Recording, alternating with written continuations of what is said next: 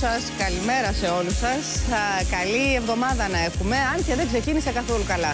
Διότι από την Παρασκευή που σας αφήσαμε μέχρι σήμερα, οι μέρες ήταν πολύ εκρηκτικές, είχαν πολύ θόρυβο και πολλά μηνύματα από πολλές και διαφορετικές μεριές. Μένει να το δούμε αυτό. Σας θυμίζουμε ότι είχαμε ξεκινήσει με τις επιθέσεις εναντίον δημοσιογράφων. Ξύπνησαν με γκαζάκια στην είσοδο των σπιτιών τους πολλοί δημοσιογράφοι. Ακολούθησαν επιθέσεις εμπριστικές, ε, βομβιστικές κατά διαφόρων στόχων μέσα στο Σαββατοκύριακο. Και από κορύφο όλων αυτών, σήμερα το πρωί, η επίθεση με Καλάζικοφ κατά των γραφείων της Νέας Δημοκρατίας με τις σφαίρες να μπαίνουν ακόμη και μέσα στο γραφείο του Πρωθυπουργού. Πάμε κατευθείαν να δώσουμε το λόγο στον uh, Μιχάλη Τεζάρη, που βρίσκεται εκεί. Είναι δηλαδή στα γραφεία της Νέας Δημοκρατίας της Συγκρού από το πρωί. Παρακολουθεί δηλώσεις που γίνονται, αλλά και την πορεία της αστυνομικής έρευνας που θα μας μεταφέρει σε λίγο Δημήτρης Καραστεφανής. Μιχάλη Τεζάρη, όσο ανοίξαν τώρα τηλεόραση, για να τα πάρουμε τα πράγματα από την αρχή και να δούμε τι έγινε περίπου στις 3 τα ξημερώματα. Βεβαίως, ήταν τρεις τα ξημερώματα όταν δύο άτομα απόπη από τον παράδρομο απέναντι από τα γραφεία της ε, Νέας Δημοκρατίας εδώ στη Λεωφόρο Συγκρού έριξαν εννέα πυροβολισμούς από Καλάσνικοφ με αποτέλεσμα οι δύο βολίδες να βρουν η μία στο παράθυρο του γραφείου του Πρωθυπουργού, του κ. Αντώνη Σαμαρά, και η άλλη στο, στην ταράτσα του κτηρίου. Αμέσως η αστυνομία σήμανε κόκκινος συναγερμός, αποκλείστηκε όλο το σημείο από αστυνομικούς και από άνδρες τρομοκρατικής. Ενώ λίγα λεπτά αργότερα, λίγη ώρα αργότερα, εντοπίστηκε ένα καμένο αυτοκίνητο στο παλαιό, στο παλαιό Φάληρο, στην οδό Φλέμινγκ 42, ε, που οι άγνωστοι το είχαν κάψει. Το αυτοκίνητο αυτό, όπως προέκυψε από τις έρευνες αστυνομικών, είχε κλαπεί στις 12 του μήνα από την μεταμόρφωση. Από εκείνη τη στιγμή και πέρα, όπως μπορείτε να δείτε, το σημείο είναι αποκλεισμένο. Οι άνδρες αντιτρομοκρατική ερευνούν σπιταμή προς σπιταμή ε, όλο το σημείο τους, εδώ τον χώρο της Νέας Δημοκρατίας, του δρόμου, τα γραφεία, α, κάτω από τη γέφυρα, εδώ μπροστά μας οι άντρε Δημοκρατική μπορείτε να δείτε ψάχνουν τα πάντα, συλλέγουν κάλικες. Όλα αυτά θα μεταφερθούν στα εγκληματολογικά εργαστήρια της Ελλάδα, προκειμένου να δουν, να γίνει βαλιστικός έλεγχος ή να δουν αν προκύπτει η συσχέτιση των συγκεκριμένων οβίδων που έπεσαν σήμερα με άλλες τρομοκρατικές επιθέσεις. Από εκεί και πέρα, ο κύριος Μανώλης Κεφαλογιάννης, ο γραμματέας του κόμματος, έκανε λόγο για μια τρομοκρατική επίθεση η οποία δεν τρομοκρατεί α, την δημοκρατία. Σε λίγο θα μας τα πει αυτά και ο Γιάννης ο Τζούνος, Μιχάλη, θα μας τα δώσει αναλυτικά. Τα... Αυτό είναι απλά το κλίμα εδώ για την ώρα και συνεχίζονται οι έρευνες. Μάλιστα, μένεις εκεί γιατί το θέμα σαφώς είναι πάρα πολύ μεγάλο και θα το παρακολουθούμε κι εμείς. Δημήτρη Καραστεφανή, ε, τι έχει μέχρι στιγμή στα χέρια της η αστυνομία δηλαδή και πώς έγινε ένα χτύπημα στα γραφεία του κυβερνητικού κόμματος; Λοιπόν, ε, αυτό που έχει η αστυνομία στα χέρια της, η αντιδρομοκρατική, είναι κάποιες μαρτυρίες αφενός και αφετέρου εικόνες από κάμερες διαχείρισης κυκλοφορίας που υπάρχουν στη λεωφόρο Σύγκρου, αλλά και από εταιρείες οι οποίες βρίσκονται εκεί. Έχουν αρχίσει και εξετάζουν δηλαδή κάμερες, έτσι. Ακριβώς. Υπάρχουν υλικό. πάρα πολλές κάμερες ασφαλείας. Ενώ για να λύσουμε και ένα θέμα για το αν φυλάσσεται η Νέα Δημοκρατία, το κτίριο της Νέας Δημοκρατίας, να σας πω ότι υπάρχει 24ωρη φύλαξη από την ελληνική αστυνομία αλλά και από ιδιωτική εταιρεία security. Α, τα περί αλεξίσφαιρων, τζαμιών κλπ. Τι υπάρχει. Και λοιπόν, ε, υπάρχει ένα κουβούκλιο πίσω από την καντίνα που βρίσκεται ο Μιχάλης ο Τεζάρης που υπάρχει η εικόνα στη γωνία. Υπάρχει ένα κουβούκλιο, εκεί βρισκόταν αστυνομικός. Μιλάμε τώρα για καλά Καλάζνικοφ. Μιλάμε για βεληνικές χιλίων μέτρων. 400 μέτρα είναι δραστικό πόπι ε, το βεληνικές του Καλάζνικοφ. Μπορεί να φτάσει μέχρι και 1000, αλλά στα 400 είναι πάρα πολύ επικίνδυνα τα πράγματα αν δεχθείς σφαίρα βολίδα από το συγκεκριμένο πολεμικό όπλο. Θεωρούν ότι είναι τυχαίο το γεγονός ότι βρέθηκε ε, βολίδα στο γραφείο του Πρωθυπουργού.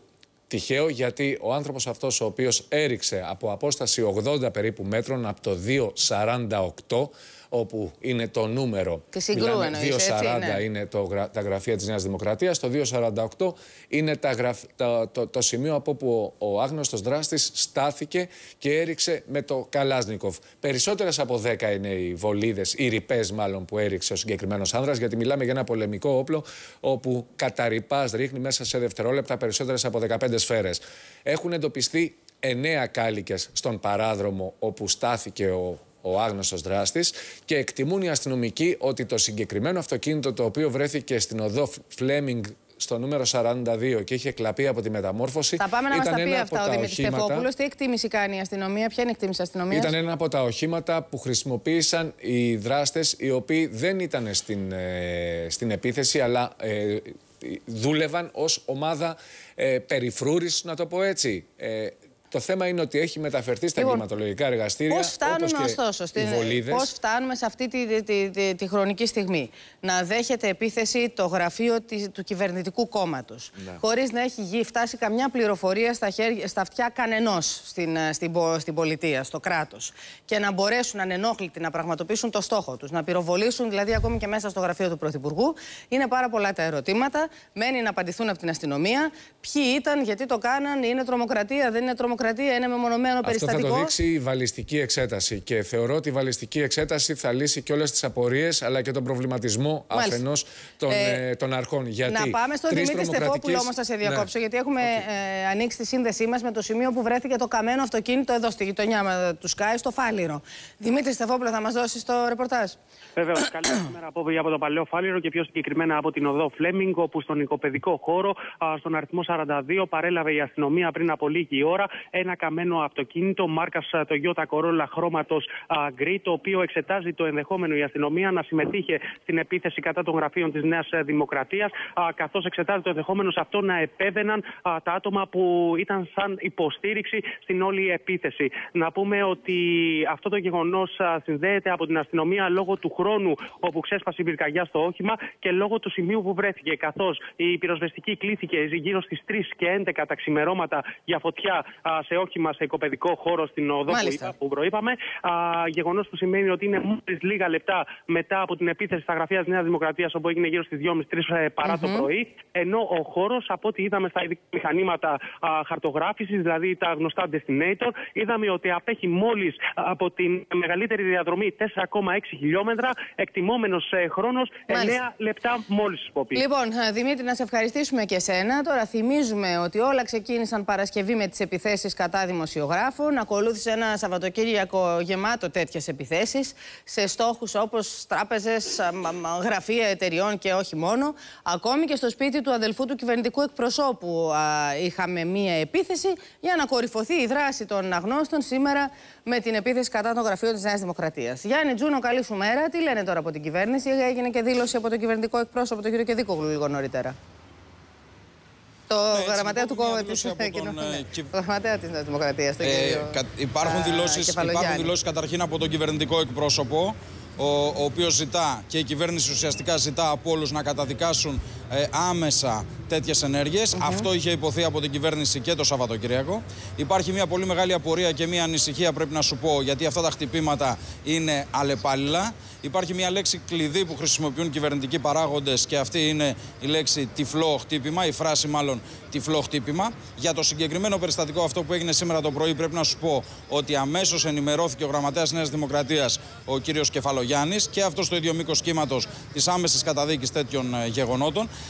Ε, σαφέστατα ενημερώθηκε από την πρώτη στιγμή και ο Πρωθυπουργός, ο οποίος ενημερώνεται συνεχώς για τις ε, εξελίξεις. Και όταν λέω εξελίξεις, αυτό το οποίο ζητούν και από την κυβέρνηση είναι να απαντηθούν αυτά τα ερωτήματα τα οποία και εσύ ε, προείπες. Πώς έφτασαν μέχρι εδώ, ε, πώς ανενόχλητοι έφτασαν μέχρι ε, να πυροβολήσουν το γραφείο ε, του Πρωθυπουργού στα κεντρικά γραφεία του κόμματος. Ναι. Υπήρξε μια τηλεφωνική επικοινωνία απόψη του κυρίου Βενιζέλου με τον ε, κύριο Σαμαρά. Γι' αυτό θα μας πει, είναι στη γραμμή, είναι στη γραμμή μας ο Γιάννης ο, ο Χρήστος ο Κούτρα που θα μας δώσει αναλυτικό ρεπορτάζ. Για να σε ευχαριστήσουμε. Χρήστο, τι είπαν οι δυο τους οι δύο άντρες μεταξύ τους; Επαναλαμβάνουμε ότι είχαμε λίγο νωρίτερα, λίγο πριν από λίγα λεπτά, επικοινωνία τηλεφωνική του κυρίου Σαμαρά με τον κύριο Βενιζέλο. Με τον κύριο Βενιζέλο. Σύμφωνα με τις πληροφορίες που έχουμε, ο κύριος Βενιζέλος εξέφρασε τον κύριο Σαμαρά τη συμπαράστασή του για το συγκεκριμένο χτύπημα.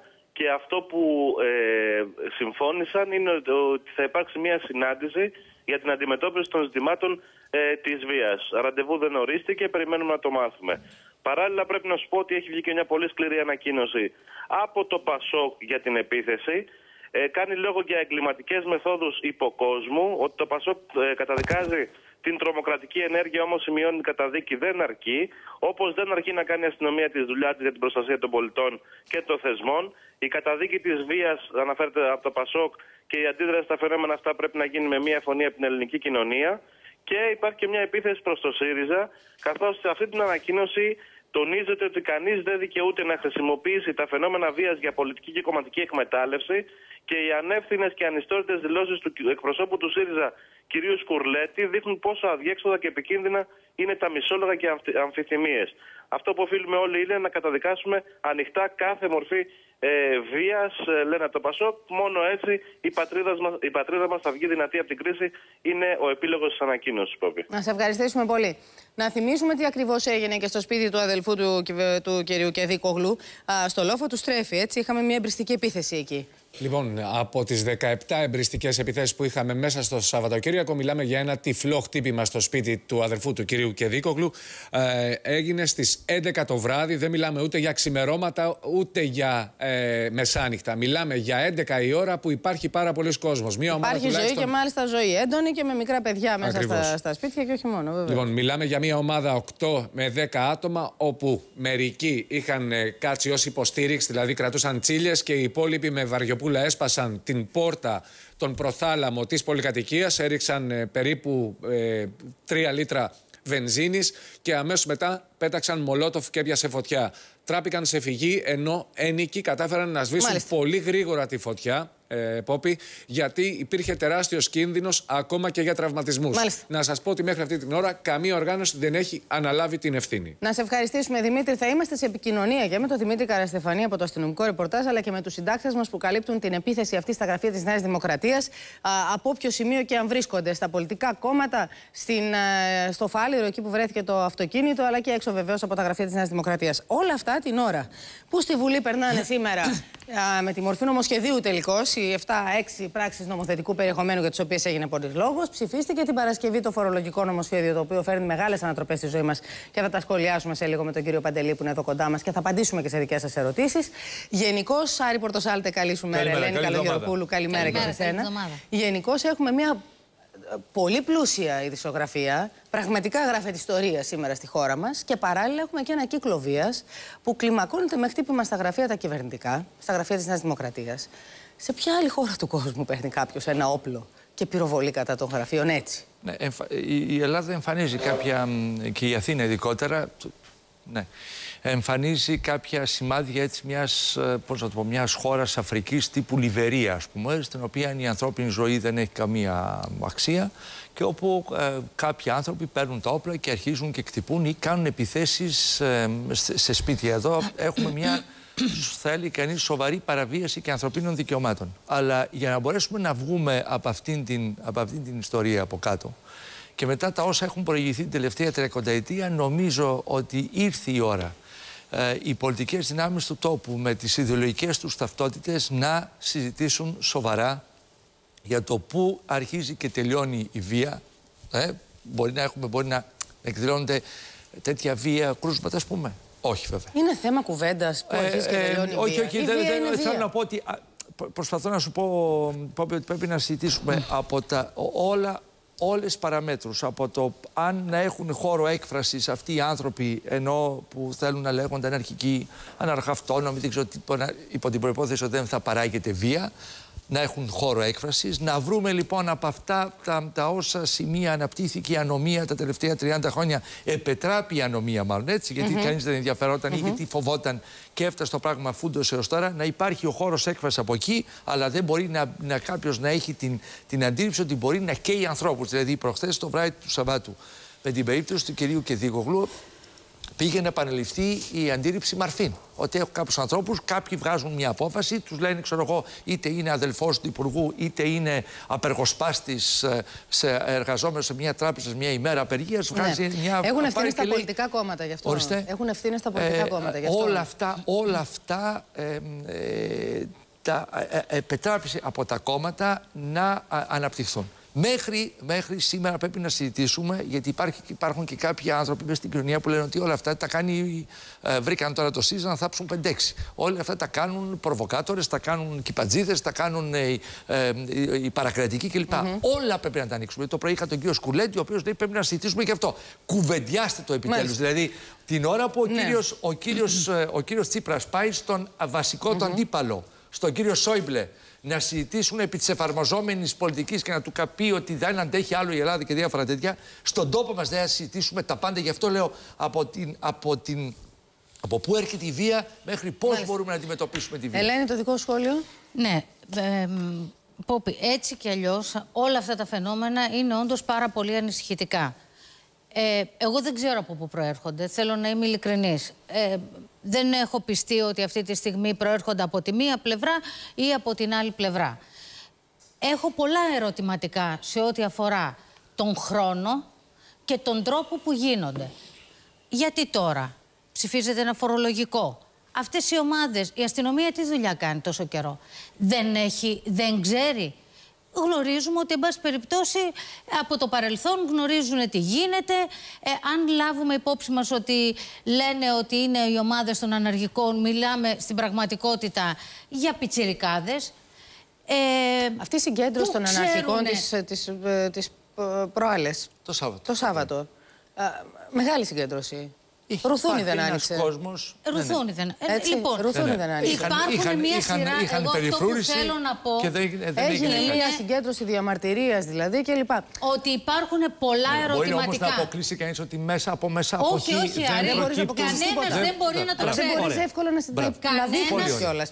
Δεν μπορείς και εύκολα να δείχνεις προς μια κατεύθυνση. Όχι. Καμία αντίρρηση. Και είναι απαράδεκτη η ανακοίνωση του Πασόκ τη συγκεκριμένη στιγμή. Δηλαδή, ε, κατευθείαν το Πασόκ προσπαθεί να συνδέσει και με αυτά τα γεγονότα το ΣΥΡΙΖΑ. Όταν μόλις προχθές, αυτό δεν πρέπει να το ξεχνάμε, βγήκε ο κύριος Τσίπρας και έκανε μία δήλωση με την οποία καταδίκασε... τον πατριωτισμό που, ε, έχουμε, που έχουμε όλοι μας. Όλες αυτές Μπορούμε τις να τον χαμηλώσουμε λίγο. Για ναι, μία στιγμή, για μία, να συμφωνήσουμε ότι στο επόμενο δεκάλεπτο... Ναι, ναι, ναι. εντάξει.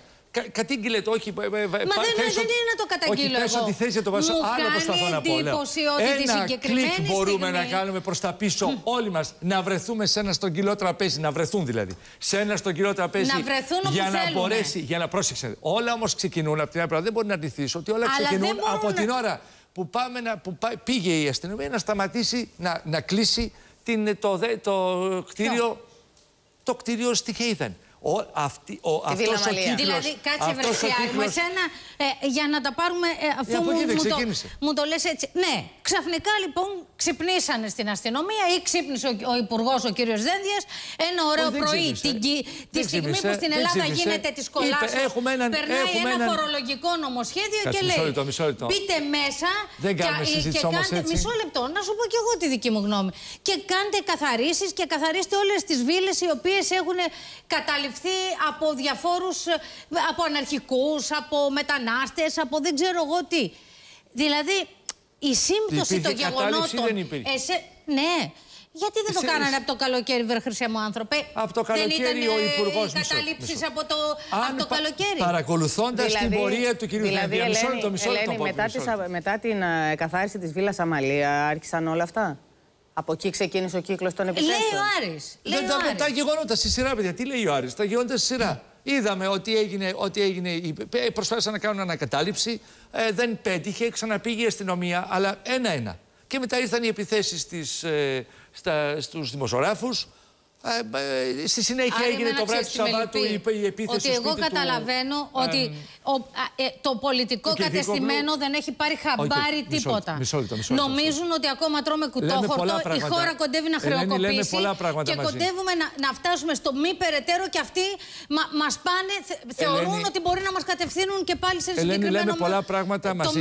Έχουμε έναν υπουργό, τον κύριο Δένδια, ο οποίος ξεκινάει κάποιες επιχειρήσεις από, από το καλοκαίρι είτε με τους, ε, είτε με τους μετανάστες και συνέχεια προχωράει και δηλαδή υπάρχει μια θε, θέληση της κυβέρνησης είτε γιατί προέρχεται από την πίεση της χρυσής αυγής.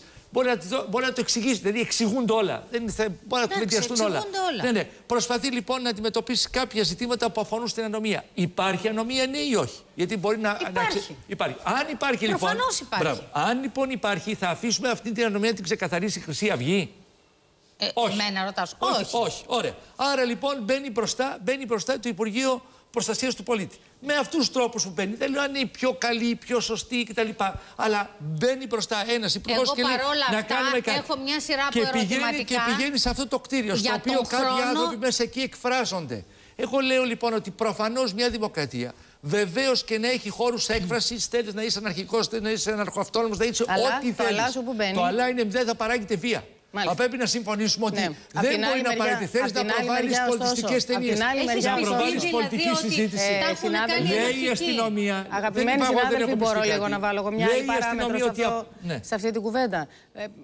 Ε, Βεβαίως και να μπει η αστυνομία και να εκαθαρίσει χώρους στους οποίους γίνονται, να, γίνονται πράξει βία. Να πάρει τα αποδεικτικά στοιχεία Μπράβο. και να πάει στη δικαιοσύνη. Από την άλλη μεριά, ωστόσο, από την άλλη μεριά, ωστόσο προσπαθούμε να έχουμε μια χώρα στην οποία Μισό λεπτό, να δεν θα έπρεπε παράλληλα, ωστόσο, να ναι. φροντίσει η αστυνομία έτσι ώστε να δοθούν στους πολίτες αυτής της χώρας, στους κατοίκους αυτής της πόλης, πάρκα τα οποία μένουν κλειστά, γιατί απαγορεύεται να μπαίνουν μέσα παιδιά μεταναστών και να έρχονται στα χέρια γονείς με, με, με, με χρυσή αυγή κλπ.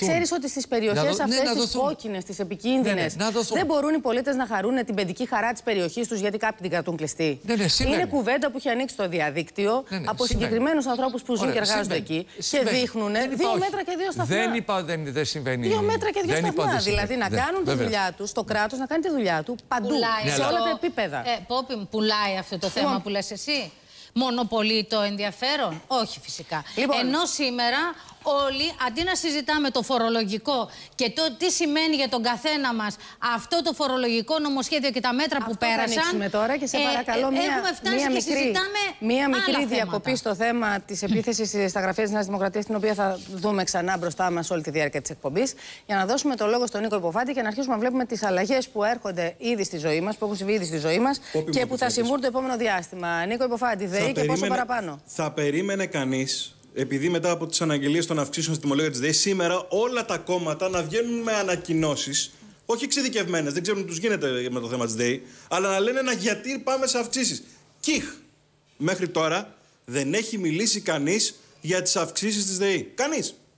Κανείς. Πραγματικά οι οποίες αυξήσεις είναι της τάξης για να ξέρουμε και πόσο επιπλέον. Μέχρι 15% φτάνουν στα αγροτικά τιμολόγια. Ο μόνος που αντέδρασε είναι ο εμπορικός κόσμος που λέει ότι πώς περιμένετε να πέσουν οι τιμές; Όταν μας φεσώνεται με ένα 10% παραπάνω. Mm -hmm. Δηλαδή, ε, ε, ε, θα περίμενε να υπάρχει μια σοβαρή αντίδραση από το πολιτικό α, προσωπικό της χώρας που πριν από λίγο Ελένη και ο σχολίαζαν, αλλά τίποτα. Μα πώς να, υπάρξει, πώς να υπάρξει αντίδραση από το πολιτικό προσωπικό της χώρας όταν είναι προαπαιτούμενο προκειμένου να εκταμιευτεί η επόμενη δόση. Αυτή... αυτό είναι το προαπαιτούμενο; Ε, ένα από τα προαπαιτούμενα είναι και αυτό. Δεν λέει αυτό. Λοιπόν, ακούστε τι λέει. Ένα από τα προαπαιτούμενα είναι και αυτό. Τι ακούστε τι λέει λοιπόν. Δεν σου λέει να επιβάλλεις αυξήσεις στους καταναλωτές. Δεν είπε να πάρει να αυξήσεις. Είπε να κρατηθεί ΔΕΗ. Με έναν τρόπο πρέπει να κρατηθεί. Α έκανε επενδύσεις ΔΕΗ στο προηγούμενο χρονικό διάστημα. Δεν τις έκανε όμως. Mm -hmm. Έπεσε έξω.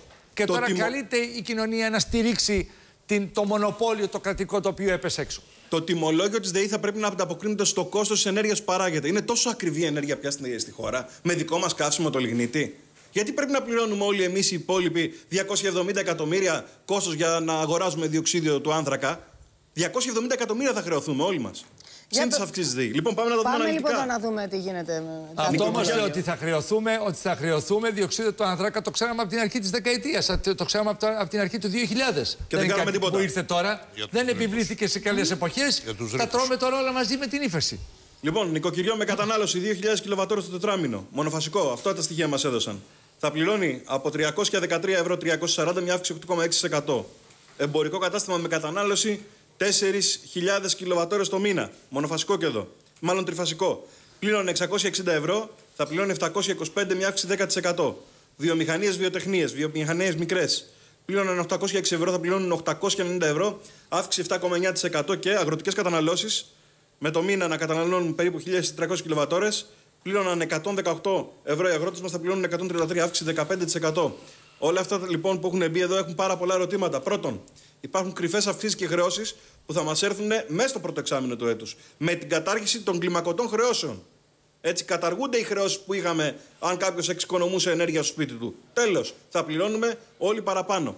Εδώ υπάρχουν πάρα, μα πάρα πολλά ερωτηματικά. Επίσης, δεν δόθηκαν συγκριτικά στοιχεία στη δημοσιότητα να ξέρουμε τι πληρώναμε πριν, τι θα πληρώνουμε μετά. Δεν μας λένε πόσα χρήματα θα εξοικονομήσει η ΔΕΗ με την επιστροφή των πελατών που είχαν πάει στην ενέργεια και στην Ελλάδα Power. Mm Για ποιο λόγο θα πρέπει λοιπόν και αυτοί όλοι μαζί μάλλον, να μην έχουμε μια ελάφρυνση από εκεί. Δεν μας λένε τώρα, εδώ που βρισκόμαστε, πόσα χρήματα έχει περικόψει το λογικό κόστος η ΔΕΗ από τους εργαζομένους της. Γιατί έχουμε τόσο μεγάλη αύξηση, η οποία ζητείται στο 25%. Και επίσης δεν μας λένε το εξής. Ότι είναι η πρώτη δόση, αυτό δεν επικοινωνείται, ότι είναι η πρώτη δόση για το 2013. Θα ακολουθήσουν άλλες δύο δόσεις μέχρι τον Ιούλιο και από τον Ιούλιο και μετά τα τιμολόγια απελευθερώνονται. Καλώς ήρθες σε ελεύθερη αγορά με ένα μονοπόλιο ισχυρό. Τελεία Παύλα. Τι άλλο να προσθέσεις πάνω σε αυτό; Τι άλλο το είπε με τον καλύτερο το, το, το, ρεπορτάζ μίλησε ναι. με τον καλύτερο τρόπο. Εκτός από αυτό όμως... Και αφορά την καθημερινότητά μας, δηλαδή αφορά τη ζωή μας ε, από εδώ και πέρα. Και το, ε, το θέμα ξέρεις ποιο είναι, ότι δεν, ε, δηλαδή, μονοπωλούν το ενδιαφέρον μας άλλα θέματα. Τη μία η λίστα Λαγκάρντ, την άλλη τα γκαζάκια, την άλλη το ένα, την άλλη το άλλο. Αντί να, να ασχοληθούμε με αυτό που αφορά τη ζωή μας, τη ζωή μας, την τσέπη μας. Ποιος θα αντέξει σε όλα τώρα. αυτά. Ο Νίκος δηλαδή τα είπε και το είπε πάρα πολύ ωραία. Ελένη, με αυτό προσπαθούμε να ασχοληθούμε τώρα. Να δούμε δηλαδή τις αλλαγές που έρχονται στη ζωή και στην τσέπη. Είδαμε τις αυξήσεις της ΔΕΗ. Να μιλήσουμε και με τον Χρυσόστομο Τσούφι για το φορολογικό το οποίο ψηφίστηκε πέρασε την α, Παρασκευή. Τι αλλαγές φέρνει και να το αναλύσουμε μιλήσουμε στη συνέχεια και με τον κύριο Παντελή και να ακούσουμε και τα σχόλια των συναδέλφων. Χρυσόστομε. Λοιπόν, ξεκινάμε από την ε, νέα κλίμακα για τους ε, μισθωτούς και τους ε, ναι. συνταξιούχους. Ε, αφορολόγητο δεν υπάρχει, φορολογήσει από το πρώτο ευρώ. Με και 20... φορολογήσει από τα 18 και πάνω; Από από τα 18 και πάνω, ναι. Τα 18 και πάνω έχουν όλοι υποχρέωση πια να υποβάλουν δήλωση. Και να πληρώνουν κιόλας, κύριε Παντελή. Αν ε, παράδειγμα δεν Σπουδαστής, είναι. Σπουδαστής που μένει σε άλλη πόλη και που μένει σε άλλη πόλη. Ο οποίος αν του βγαίνουν. Να... του, παιδιού, του παιδιού παλαιότερα. Πώς το αν λένε... του βγαίνει φόρος με τεκμήριο, θα πληρώσει κανονικά μάλιστα. το φόρο. Και μάλιστα θα το πάει όχι με την κλίμακα μισθωτών και συνταξιούχων, αλλά με την κλίμακα των ελευθέρων επαγγελματιών. Πάμε στις άλλες κλίμακες τώρα, Χρυσόστομε. Μισθωτοί ε, συνταξιούχοι. Μισθωτή συνταξιούχη για τα πρώτα 25.000 ευρώ, 22% συντελεστής. Από τις 25 έως τις 42.000 ευρώ, 32% συντελεστής. Για το κομμάτι του εισοδήματος πάνω από τις 42.000 ευρώ, 42% συντελεστής. Να σημειώσω εδώ, Πόπη, ότι υπάρχει μια αυτόματη έκπτωση φόρου 2.100 ευρώ. Ε, ως τις 18.000 είναι fix η τιμή, δηλαδή 2.100 ευρώ. Από εκεί και πέρα για κάθε 1.000 ευρώ επιπλέον ε, εισοδήματος μειώνεται κατά 100 ευρώ. Δηλαδή αν κάποιος έχει 19.000 ευρώ εισόδημα, η έκπτωση φόρου είναι στις 2.000 ευρώ. Έτσι επιτυγχάνεται μια, ε, ένα τεχνητό αφορολόγητο των 9.000 ευρώ. Για να μπορέσει όμως ο μισθωτός και ο συνταξιούχος να απολαύσει αυτή την έκπτωση φόρου, θα πρέπει να συλλέξει το 25% του φορολογητέου εισοδήματός του σε αποδείξεις. Ε, συνεχίζονται τα τραγελαφικά, δηλαδή δεν δεν υπολογίζονται οι αποδείξεις από τις ΔΕΚΟ, οι τα ενίκια, τα κοινόχρηστα. Τα έξοδα της ζωής μας δηλαδή. Έτσι. Τα έξοδα της ζωής μας. Όμως, παραδείγματος χάρη, ο συνταξιούχος του ΟΓΑ που θα κάνει αγορές από την Γκαλερή Λαφαγέτ στο Παρίσι, θα του μετρήσουν οι αποδείξεις. Καλό αυτό. Εγώ νόμιζα που θα πάνε για, για σκι στι Άλπε τώρα να φέρουν τις αποδείξεις από το Και αυτά εκπίπτουν και τα έξοδα για το σκι. Είναι εδώ, και ο, είναι εδώ και ο εμπειρογνώμων. Μισό λεπτό. Είναι ο ειδικός. Η, η, όλο αυτό έχει να κάνει με το να βγάλει την, από την τρύπα έναν που φοροδιαφεύγει. Οι ΔΕΚΟ δεν φοροδιαφεύγουν, δίνουν τιμολόγιο. Το, το θέμα είναι ότι καλείτε, καλούμαστε εμείς να βγάλουμε τον συμπατριώτη μας που δεν κόβει απόδειξη. Αυτό δεν πρέπει να επισημάνει και ο Σπαντελή. Ωραίο το, ωραία, ωραία η πλάκα που για να πάει στο ταξίδι να ψωνίσει στην καλή Λαφαγέτ. Αν σε περίπτωση αλλά δεν χαλάει η βρύση δίνουν τιμολόγιο. Τι να κάνω τώρα; Αν η βρύση δεν χαλάει στο σπίτι σου τρεις φορές το μήνα και δεν πληρώνεις για να τη φτιάξεις και τα έξοδά σου είναι φως, νερό, τηλέφωνο και το φαγητό των παιδιών σου, τότε με συγχωρείς, αλλά δεν θα καταφέρεις να συγκεντρώσεις τις αποδείξεις που χρειάζεται και θα πληρώσεις 22% φόρο. Πόπι, αν μου επιτρέπεις. Τι θα κάνει; Πού τρώει τον ποστάνι τη. Χρυσόστομε, ναι. Αν μου επιτρέπεις, ε, θέλω να πω στο, στον κύριο Πορτοσάλτε ότι ούτε τα σούπερ μάρκετ φοροδιαφεύγουν, αλλά οι αποδείξεις τους μετράνε. Δηλαδή κάπως πρέπει να μπουν διαφορετικά κριτήρια στο, στο τι ε, αποδείξεις πρέπει να συλλέγουμε. Ενώ τα ενίκια που μπορούμε να φοροδιαφύγουμε Έτσι, σε ακριβώς. συνεννόηση δεν μπαίνουν μέσα. Όπως δεν μπαίνει μέσα η θέρμανση. Ανεξαρτήτως μορφής. Είτε είναι πάλετη, είτε είναι πετρέλαιο, είτε είναι καυσόξυλα. Αυτούς που φοροδιαφεύγουν τους τσιμπάει. Τα κοινόχρηστα είναι εκτός. Τα κοινόχρηστα είναι εκτός. Και θέλετε να πω και κάτι άλλο, μια και το συζητάμε. Το συγκέντρωση των αποδείξεων το αφορά που είναι εντός, και συνταξιούχους. Είναι; Ε, αγορές από καταστήματα ναι, που ναι. ποιος έχει χρήματα πια για να κάνει; Τη λογική τους να ακούσουμε. Γιατί γίνεται αυτό όμως; Τη λογική, τη λογική να καταλάβουμε. Γιατί τα εξαιρεί αυτά. Ε, αυτά, αυτά που εδώ, τα οποία ακούμε πολύ λογικά, γιατί εξαιρούνται; Αυτά, αυτά πάντοτε εξαιρούνταν. Εγώ θα, εγώ θα περίμενα, δεν μπορώ να το Τα κοινόχρηστα δεν ήταν πέρσι, τα κοινόχρηστα εκτός λογαριασμών ΔΕΗ ήταν μέσα. Και έβγαζε βεβαίως η Γιατί εξαιρέθηκαν φέτος τα κοινόχρηστα που τα βάλανε πέρσι; Τη λογική τους να, να, να μας πούν γιατί το κάνουν.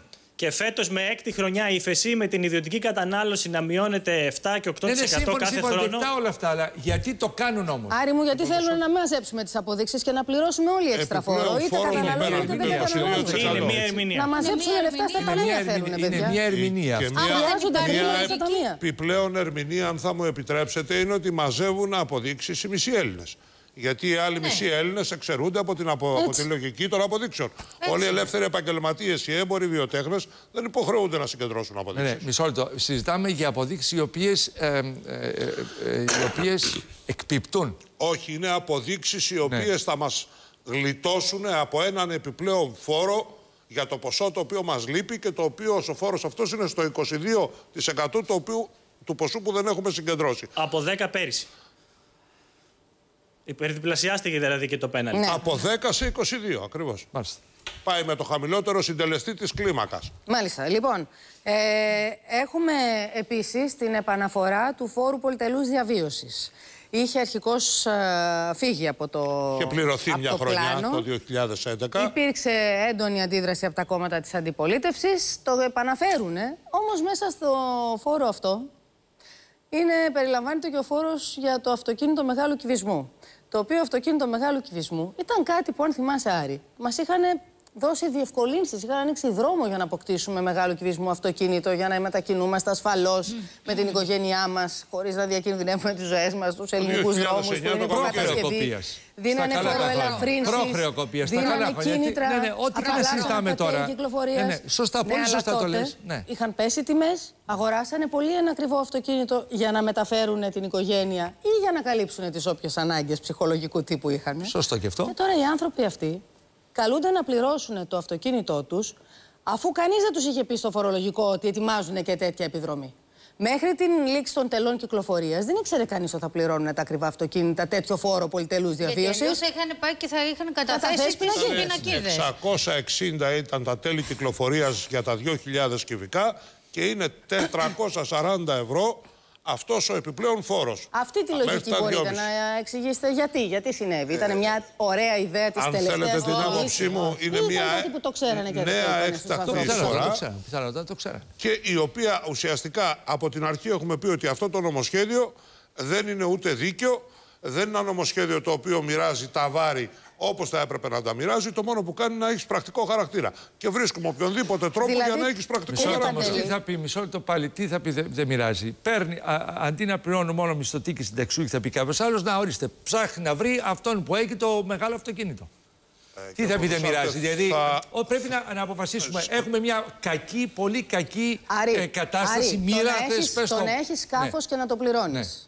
Δεν ξέρω, από τα 6 μέτρα και πάνω φορολογούνται. Από τα 6 μέτρα και πάνω. μέτρα είναι βάρκα είναι έτσι. 6 μέτρα είναι βάρκα. Μεγάλη. Ναι, μισό λεπτό. Ποιος θα πει δηλαδή, που ψαρεύουν εδώ που μισό λεπτό, Από τη μία πλευρά, μισό λεπτό όμως, πρέπει κάπου να ισορροπήσουμε. Από τη μία πλευρά λέμε ότι κακώς πληρώνουν μόνο μισθωτικοί συνταξιούχοι. Πάει από την άλλη πλευρά. Πάλι φωνές. Να καταλάβουμε ποιο. Ε, ή, δεν θα, ή να μην πληρώσουμε. Λέμε να υπάρξει ένα δίκαιο φορολογικό. Αυτό πάνε να μας μας περάσουν. Πού είναι αυτή η δικαιοσύνη. Δίκαιο είναι να ξέρω τουλάχιστον εγώ που έχω το ακριβό αυτοκίνητο ότι θα πληρώσω φόρο πολυτελείας για αυτό, έτσι ώστε να καταθέσω την πινακίδα. Να μην έχω επιβαρυνθεί όμως με τα τέλη κυκλοφορίας του, που είναι επίσης πολλά. Αυτό ναι. είναι το πρόβλημα. Ο μισθωτός και συνταξιούχος τι θα κάνει; Δηλαδή, Μα ο μισθωτός και ο συνταξιούχος ναι. τα ναι. προηγούμενα χρόνια είχαν ναι. ευνοηθεί για να αγοράσουν το αυτοκίνητο αυτό. Θα με στρέψει τον κόσμο το να έχουν το αυτοκίνητο αυτό και δεν ξέρουν τι θα το κάνουν τώρα. Δεν τα αγοράζει και κανένας. Τουλάχιστον να το παροπλήσουν. Πάντως... Δεν πληρώνεις και τέλη κυκλοφορίας για να το έχεις με πινακίδα για την ώρα ανάγκης κλπ. Και, και μετά το φορολογήσει κιόλας. Αυτό είναι το άδικο. Πες το από πριν, πες το από πριν. Καταλαβαίνω, από την άλλη πλευρά θέλουμε να αυξήσουμε, να, πολύ σωστά, να δώσουμε λεφτά στους, ε, στη δικαιοσύνη, να δώσουμε στην αστυνομία, να δώσουμε στους γιατρούς, στους εκπαιδευτικούς. Πού θα βρεθούν όλα αυτά, δεν, δεν, δεν καταλαβαίνω. Δηλαδή, ε. πολύ ωραία, φωνάζουμε όλοι μαζί, διαμαρτυρόμαστε όλοι μαζί. Ταυτόχρονα θέλουμε ένα κράτος να λειτουργεί, Ταυτόχρονα αυτό το κράτος έχει κάπου 700.000 ανθρώπους. Θέλουμε να. Πόσα να πληρώσει ο κόσμος; Πόσα για να, να λειτουργήσει αυτό ε, το κράτος; Πες μου από πού. Ποια είναι η μηχανή που γεννάει λεφτά; Δεν έχει πληρώσει. δεν είναι η μηχανή που, γεννάει λεφτά. Αυτοί που έπρεπε να πληρώνουν όλα αυτά τα χρόνια πλήρωναν. Άλλοι δεν πλήρωναν άρη μου. Ε, πάει να τους βρεις. Πάει να τους βρεις. Και συνεχίζουν όμως και πληρώνουν αυτοί οι χριστιανοί. Μόλις πάει να τους βρει. Με κολπάκια. Πάει να τους Με κολπάκια. Τον μισθωτό. Για να μαζέψει. Ποιο είναι το κανονικό δηλαδή. Να πει Να ότι δημιουργήσει- από ένα εισόδημα και μετά φορολογία της τάξης πόσο κύριε Παντελή, Ε, 60%. Ε, 50, 60 πόσο; Η διαφορά Για είναι να τα ότι καλύψουμε από όλα ένα αυτά. εισόδημα και μετά η Μάλιστα. φορολογία αντί να αυξηθεί και μιλάμε για τα μεγάλα εισοδήματα, Ναι. έχει μειωθεί. Ένας ο οποίος έχει ενίκεια παράδειγμα και είναι εισοδηματίας, αυτή τη στιγμή του κατεβάζουμε 12 μονάδες το φόρο εισοδήματος τον οποίο πλήρωνε και πάει από το 45% στο 33%. Οι, οι εταιρείες, οι μεγάλες εταιρείες, πήγαμε το Βάλαμε το, το συντελεστή φορολογία στο 26 και 10 το μέρισμα πάμε στο 32% περίπου, 32,7. Θέλω να πω ότι η λογική είναι ότι από τη μία πλευρά αυτούς που έχουν μεγάλα εισοδήματα, έχω συγκεκριμένο παράδειγμα, ε, ιδιοκτήτη ο οποίος παίρνει κοντά στο 1 εκατομμύριο σε ενίκεια, αυτός ο άνθρωπος θα γλιτώσει 120.000 ευρώ από το φόρο. Και η μητέρα μου που νοικιάζει και παίρνει 3 εκατοστάρικα το μήνα, θα έρθει και να πληρώσει 10% επάνω στο φόρο. Γι' αυτό μιλάω ότι δεν υπάρχει λογική. Η λογική είναι αυτούς που έχουν εισοδήματα όντως να τους φορολογήσουμε. Πολύ σωστά παράδειγμα έκανε ο κύριος Θεοχάρης που έβγαλε τα εμβάσματα εξωτερικού και προσπαθεί να, να τα πιάσει. Δεν ξέρω κατά πόσο θα τα Όχι, καταφέρουν. Και πολύ σωστά έκανε που Δεν εξαπλωθεί ξέρω- και φορολογεί με το Έτσι. φόρο πολυτελούς διαβίωσης στα μεγάλα σπίτια, τι πισίνες, Να τα το κότερα. ξέρω. Εννοείται. Ε, Προηγουμένως είπες για τα, για, το, για, τα, για τα σκάφη. Όχι για τα σκάφη. Είπες Πώς ότι αστείευεσαι; τα, τα έξι. Φυσικά όχι, και όχι, να τα είπες, φορολογήσει. όχι, ναι, ναι, είπες όμως για τα. Είπες ότι στα έξι μέτρα, στα έξι μέτρα είναι η βάρκα. Ε, πρέπει αυτό να το να Όχι, απλωθεί ξέρεις, και γιατί σαν- σκεφτόμουν σε... τους φίλους μου στο νησί, Ναι. που είναι άνθρωποι οι οποίοι ζουν δουλεύοντας, από το μεροκάματό τους δηλαδή, και έχουν βάρκες μικρές για να πηγαίνουν τριγύρω στο νησί. Νησί είναι, βγαίνει ο κόσμος και ψαρεύει. Θα φορολογηθούν και αυτοί. Αυτούς σκεφτόμουν τα και έξι έκανα το μέτρα και συνειρμό. πάνω Ψαρά. ουσιαστικά. Όχι, Θα α, πληρώσει όχι, την όχι, έκτακτη λέει, η φορά. αναψυχή του, του ψαρά, εν πάση Ναι, περιπτώσει. του κατοίκου του νησιού που έχει. Και σκεφτόμουν αν θα πέσει φόρος και εκεί. Άρα, μήπως μπαίνει και εκείνο στην λογική Ναι, ρε παιδιά, της- δεν ξέρω. Εγώ του το- το- άδικου το φόρου. καταλα- ναι, ναι, Αλλά αυτό εντάξει. είναι τίποτα. Αλλά εγώ Άρη, προσπαθώ, ε, εγώ προσπαθώ να πω Μια τα έτοιμη εξής ότι... κυβέρνηση, ωστόσο, Ναι. προειδοποιεί τον πολίτη ότι θα επιβάλλει αυτό το φόρο. Θα συνεχίσει να πληρώνει αυτό το φόρο κάποιος που έχει το πολυτελές αυτοκίνητα, το, με- το μεγάλο αυτοκίνητο. Άρα λοιπόν να ξέρει και αυτός τι θα κάνει. Αυτό. Είναι δεν το ανέτοιμη αλλάζεις απέναντι στον μόλι πολίτη. λήξει Το λέει η προθεσμία 31 για το τέλος Δεκεμβρίου και κυκλοφορίας. έχει Είναι 10 ανέμειξη του Γενάρη. πολίτη. Ναι. Και επίσης δημιουργεί και προοπτικές. Προοπτικές ανταπόδοσης. Δηλαδή πληρώνουμε τόσους φόρους, αλλά πότε θα γυρίσουν πίσω αυτοί οι φόροι σε εμάς, όταν, Όταν θα ανοίγει βελτιώσουμε το κράτος. με πράξεις νομοθετικού Όταν θα βελτιώσουμε περιεχομένου το κράτος, τη Σοπό. δυνατότητα να χάσεις ακόμη και την όποια εθνική κυριαρχία έχεις. Αναφέρομαι σε αυτή την, ε, τη διάταξη που πήγε να περάσει και τώρα γίνεται νόμος και επιτρέπει στους δανειστές να παίρνουν όλα τα έσοδα του, του, Αν δεν του κράτους πληρώσεις. και να τα Όταν ρίχνουν δεν στο ειδικό πληρώσεις. Όταν ταμείο. δεν πληρώσεις. Περιμένουμε λοιπόν να Όταν παίρνει δεν τους φόρους, πληρώσεις όμως. αλλά να τους γυρνάει με κάποιο τρόπο και σε εμάς, όχι να τους στέλνει έξω. Ναι, μισό λεπτό. Θα πρέπει να πληρώσουμε αυτά τα δάνεια που έχουμε βρει. Δεν χρειάζεται να τα πάρουμε. Ας μην τα παίρναμε και να ζούσαμε αυτά που έχουμε. Μην ξαναγυρίσουμε πάλι στη ίδια κουβέντα. Λοιπόν, την πάμε αρχική. λίγο στον Αντώνιο Τζολέτο Δεν για λέμε να πάλι δούμε τα τι ίδια. γίνεται με τις έξι ρυθμίσεις νομοθετικού περιεχομένου που τελικώς έγιναν νόμος, γίνονται μάλλον νόμος για να περάσουν, Αντώνη. Έγινε νομοσχέδιο τελικά. Ε, σήμερα έχει ξεκινήσει εδώ η συζήτηση με τις έντονες αντιδράσεις βεβαίως της αντι- αντιπολίτευσης. Είναι 7 δράσεις προαπαιτούμενες για την εκταμείευση της δόσης. Ενδεικτικά να σου αναφέρω ότι είναι νέοι δημοσιονομικοί κανένο- κανόνες όσον αφορά τον έλεγχο των ΟΤΑ, των Υπουργείων και των ΔΕΚΟ. Αναστολή πληστηριασμών ε, για πρώτη κατοικία και αναστολή ε, εξώσεων εμπορικών καταστημάτων στο τέλος του 2013, παρεμβάσεις στις συντάξεις των υπαλλήλων της Βουλής, μέτρα επιτάχυσης της απορρόφησης του ΕΣΦΑ, ε, νέοι όροι δόμησης. Ε, Υπήρξαν αντιδράσεις μεγάλες στην Επιτροπή Οικονομικών ε, το Σάββατο. Ε, Αποχώρησαν, να σου θυμίσω, ΣΥΡΙΖΑ, Κομμουνιστικό Κόμμα και Χρυσή Αυγή. Βεβαίως, αυτό που λέει ο κύριος Τουρνάρας είναι ότι πρέπει αυτές οι δράσεις σήμερα να ψηφιστούν προκειμένου να εξεταστούν από το Euro Working Group με το μάτι βεβαίως στραμμένο στην εκταμείευση της δόσης των 9,2 δισεκατομμυρίων ευρώ. Από εκεί και πέρα αναμένουμε και σήμερα συζήτηση σε υψηλούς τόνους εδώ στη Βουλή, όχι μόνο για το θέμα και για τις τελευταίες τρομοκρατικές επιθέσεις, αλλά και για τη λίστα Lagarde που να σου θυμίσω μπαίνει την Πέμπτη ε, για ψήφιση για τα τέσσερα πρόσωπα και Μάλιστα, αυτό στη λοιπόν. Βουλή. Σε ευχαριστούμε πολύ, Αντώνη. Θα ξαναγυρίσουμε για τα νεότερα στον Αντώνη στη, Βου- Ατζολέτο στη Βουλή. Α, με τη λίστα Λαγκάρντ θα συνεχίσουμε μετά τις διαφημίσεις. Αφού ευχαριστήσω πρώτα τον κύριο Παντελή που ήταν κοντά μας στο φοροτεχνικό, α, θα, σας, α, θα κάνουμε κι εμείς πραγματογνωμοσύνη του stick, του USB. Της λίστας Λαγκάρντ. Θα σας ενημερώσουμε επίσης και για το τι πρόκειται να γίνει σήμερα και αύριο. Καταθέτουν Καπελέρης και Διώτης. Θα δούμε πώς θα καταθέσει ο καθένας και τι θα πει ο καθένας από αυτούς τους οικονομικούς εισαγγελείς τους οποίους θα προσέλθει. Μετά τις διαφημίσεις όμως, και αφού θυμίσουμε ότι το Twitter είναι ανοιχτό για τα μήνυματά σας και το SMS επίσης, γράφετε τη λέξη τώρα, αφήστε κενό, συμπληρώστε μήνυμα και στείλτε το στο 54260. Ερχόμαστε σε πολύ λίγα λεπτά από τώρα.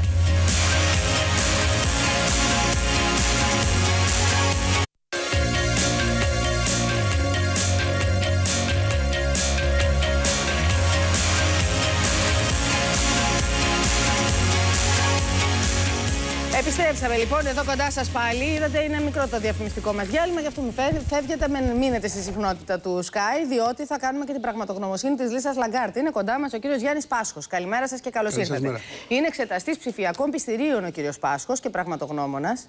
Στην πραγματικότητα είστε εσείς που στήσατε το, ε, το αρμόδιο, το κομμάτι αυτό, το κομμά, τον τομέα εξέτασης ψηφιακών πειστηρίων στην υπηρεσία δίωξης ηλεκτρονικού εγκλήματος, έτσι. Ναι, δεν είναι ακριβές στη διεύθυνση εγκληματολογικών ερευνών. Μάλιστα. Στην διεύθυνση εγκληματολογικών ερευνών. Σωστά.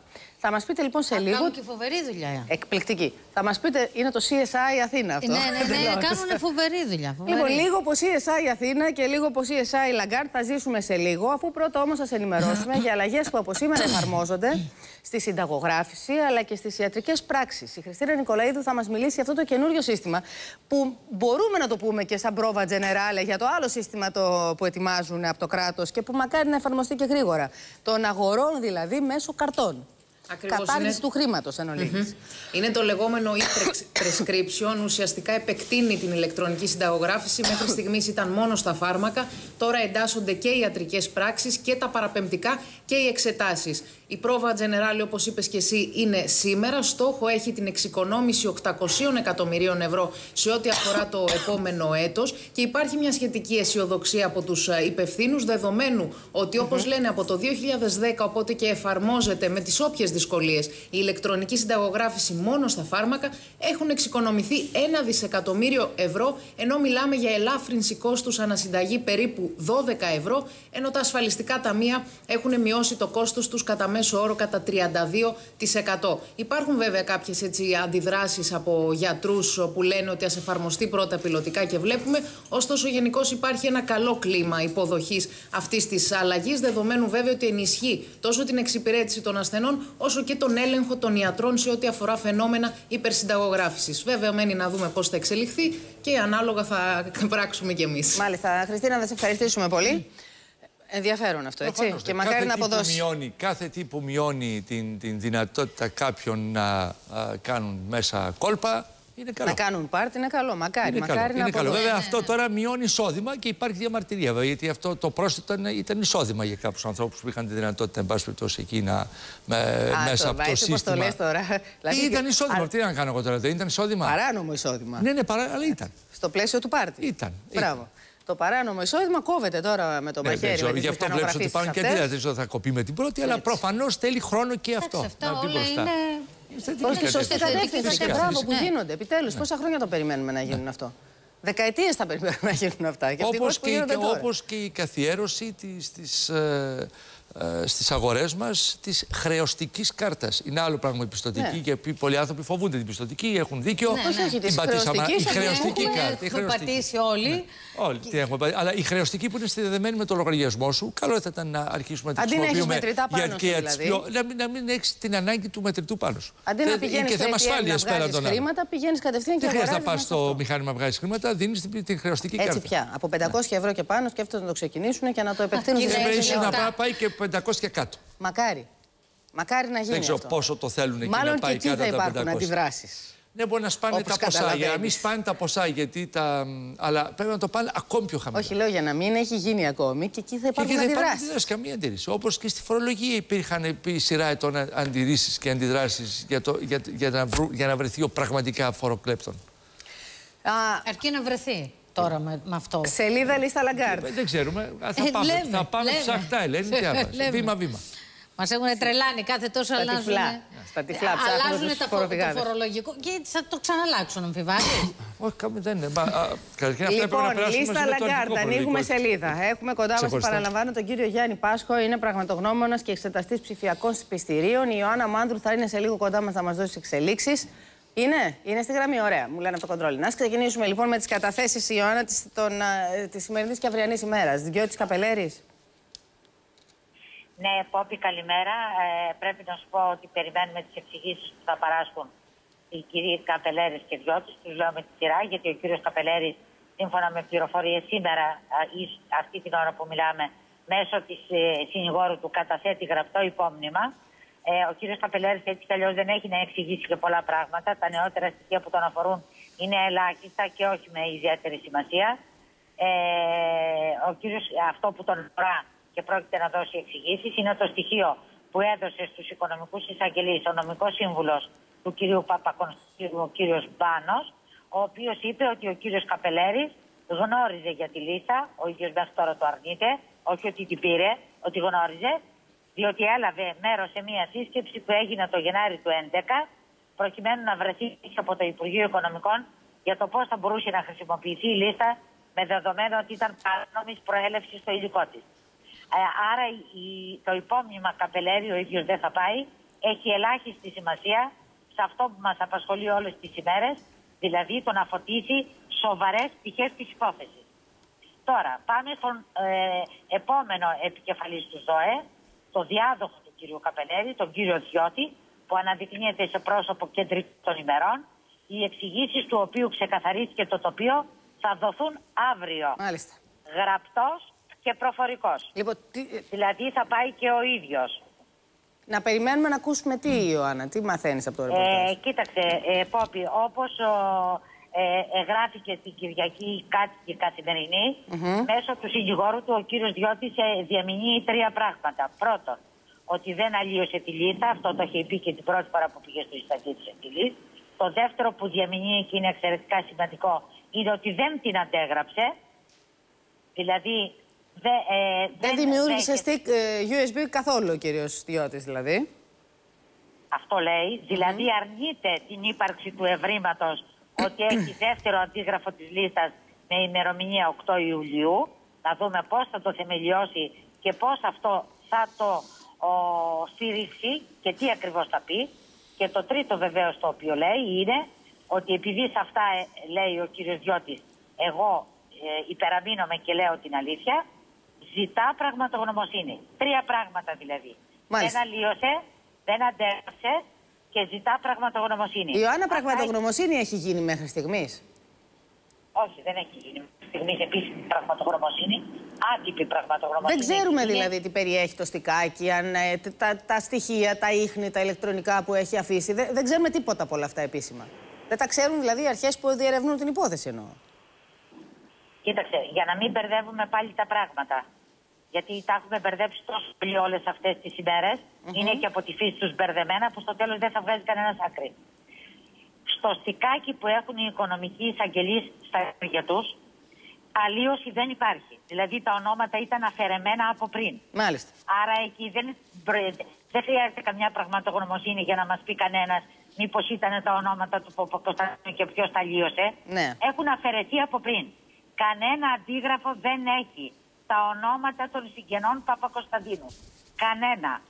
Με την ημερομηνία του αντιγράφου Ιωάννα; Ακριβώς. Εδώ είναι το θέμα. Η ημερομηνία του αντιγράφου είναι αυτή η οποία, η οποία έχει προκύψει από άτυπη πραγματογνωμοσύνη που έχουν κάνει οι οικονομικοί εισαγγελείς, διότι οι άνθρωποι αυτοί έχουν απευθυνθεί πολλές φορές σε διάφορους καθηγητές, πληροφορικούς, εξειδικευμένους, ειδικούς κτλ.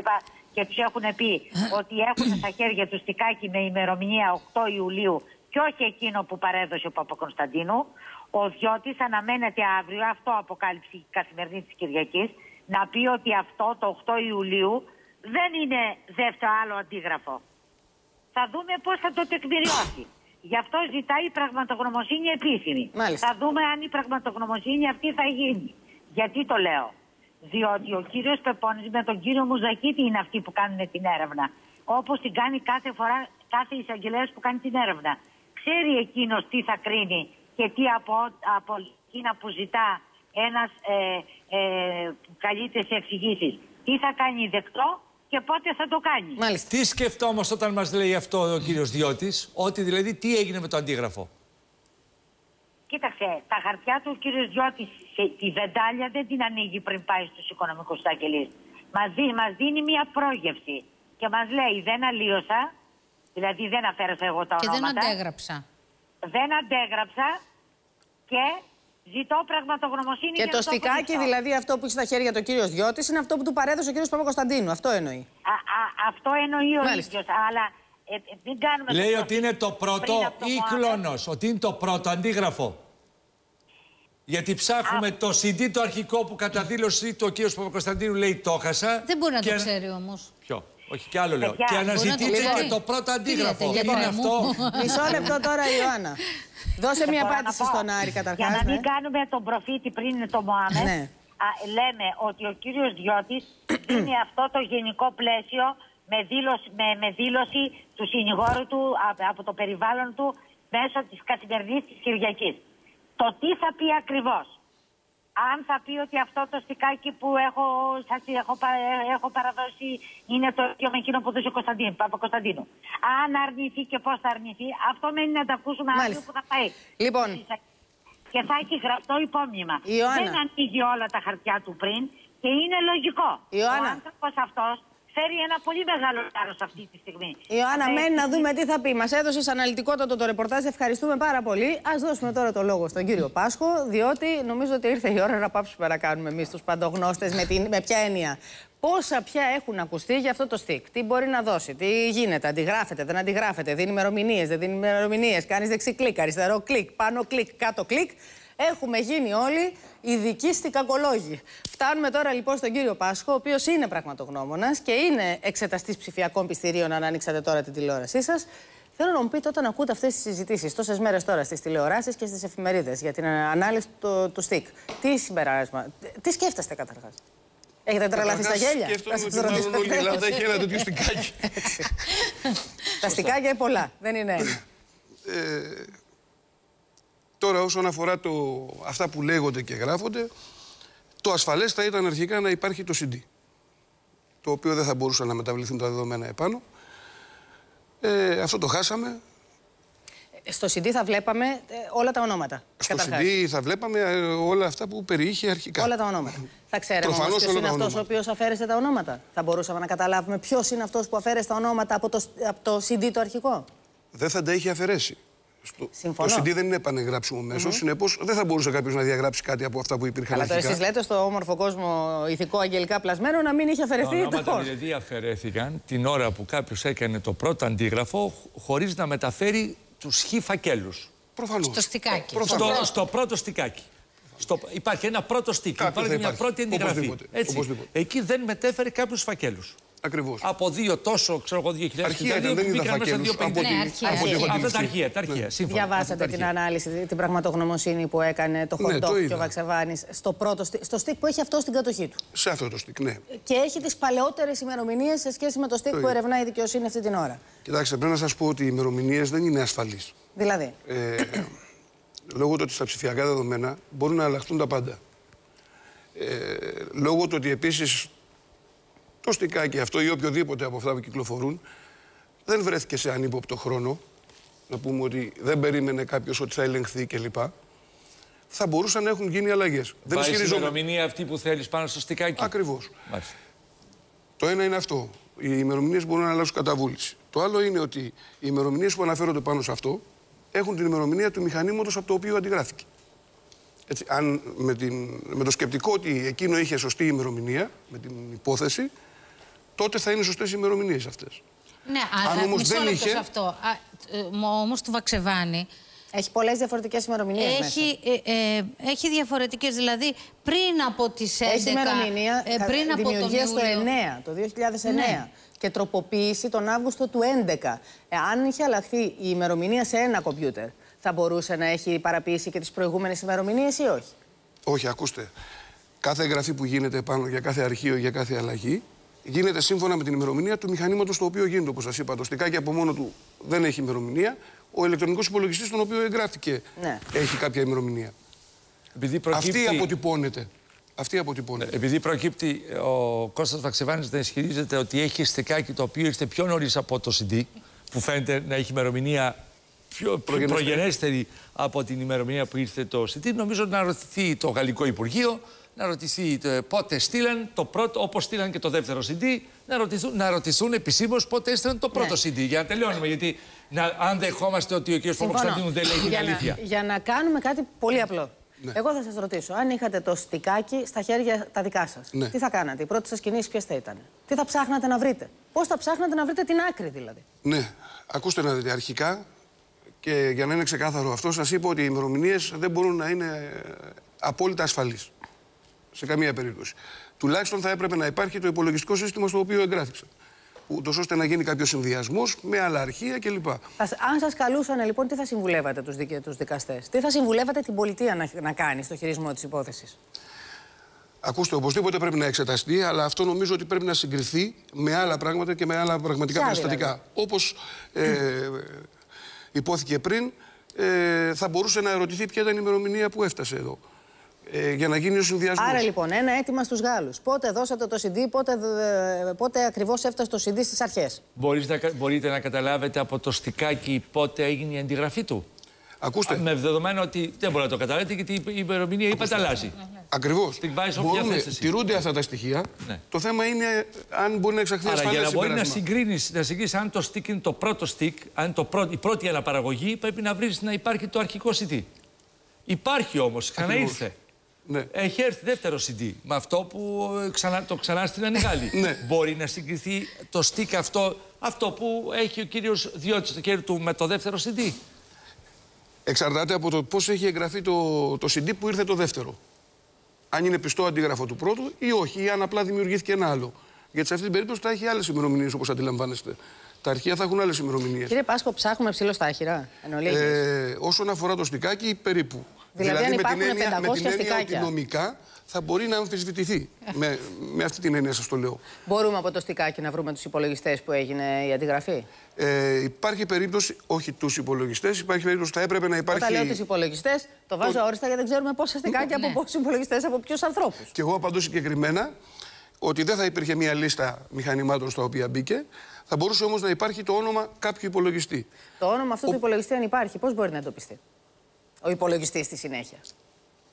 Ο υπολογιστής δεν μπορεί Αν να... ανήκει στο Υπουργείο Εξωτερικών ε, Οικονομικών, Πώς μπορεί να υπερασπιστεί κάποιος τον εαυτό του πέραν των υπολείπων επιχειρημάτων, κύριε Πάσχο να υπερασπίσει στον εαυτό του ότι αυτό που κρατάει το στικάκι είναι και το γνήσιο. Είναι αυτό που. Δηλαδή, έχω γραστικάκι και, και λέω ότι μου το έδωσε η Καρογερόπουλη. Η Καρογεροπούλου όμως μπορεί να αμφισβητηθεί ότι μου το έδωσε εκείνη. Αλλά εγώ πώς μπορώ να υπερασπιστώ τον εαυτό μου; Τι έχω να πω; Μόνο σε αυτό το σημείο. Στα άλλη μπορεί να υπάρχουν κι άλλα. Αλλά Ακούστε, όχι, σας είπα, είναι ορισμένα σημεία τα οποία θα πρέπει να ληφθούν υπόψη, όπως αυτά με τις ημερομηνίες, όπως ε, θα πρέπει να περιέχει το όνομα του χρήστη ε, του υπολογιστή με το οποίο γράφηκε μέσα στο, στο έγγραφο αυτό το Excel.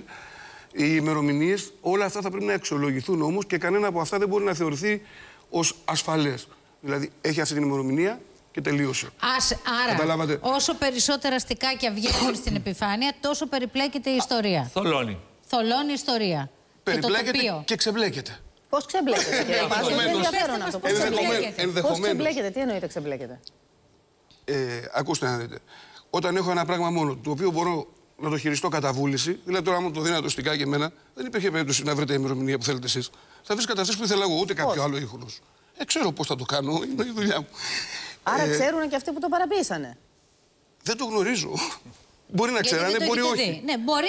μπορεί να υπάρχουν περιορισμένες γνώσει και να έχουν γίνει λάθη, τον... μπορεί όχι. Μπορείτε να κάνετε ένα αστικάκι τόσο μήλο ώστε να μην βρίσκεται η άκρη του. Κουβάρι που να μην βρίσκεται η άκρη του. Να μην φτάσει ποτέ κανένα ίχνος σε εσάς. Εύκολα. Εύκολα. Γιατί σας λέω στους υπολογιστές όλα αλλάζουν. Εφόσον το έχω σε ένα επανεγράψιμο μέσο και γνωρίζω τι πρέπει να κάνω, μπορώ να το κάνω.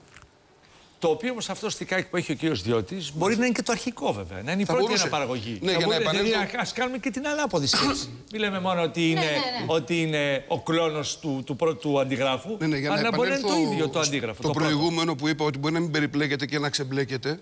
Εννοούσα αυτό, ότι έχει περισσότερα του ενός για σύγκριση και ενδεχομένως να μπορεί να γίνει ένα συμπέρασμα. Σύγκριση μεταξύ των δύο πρέπει να γίνει; Συ...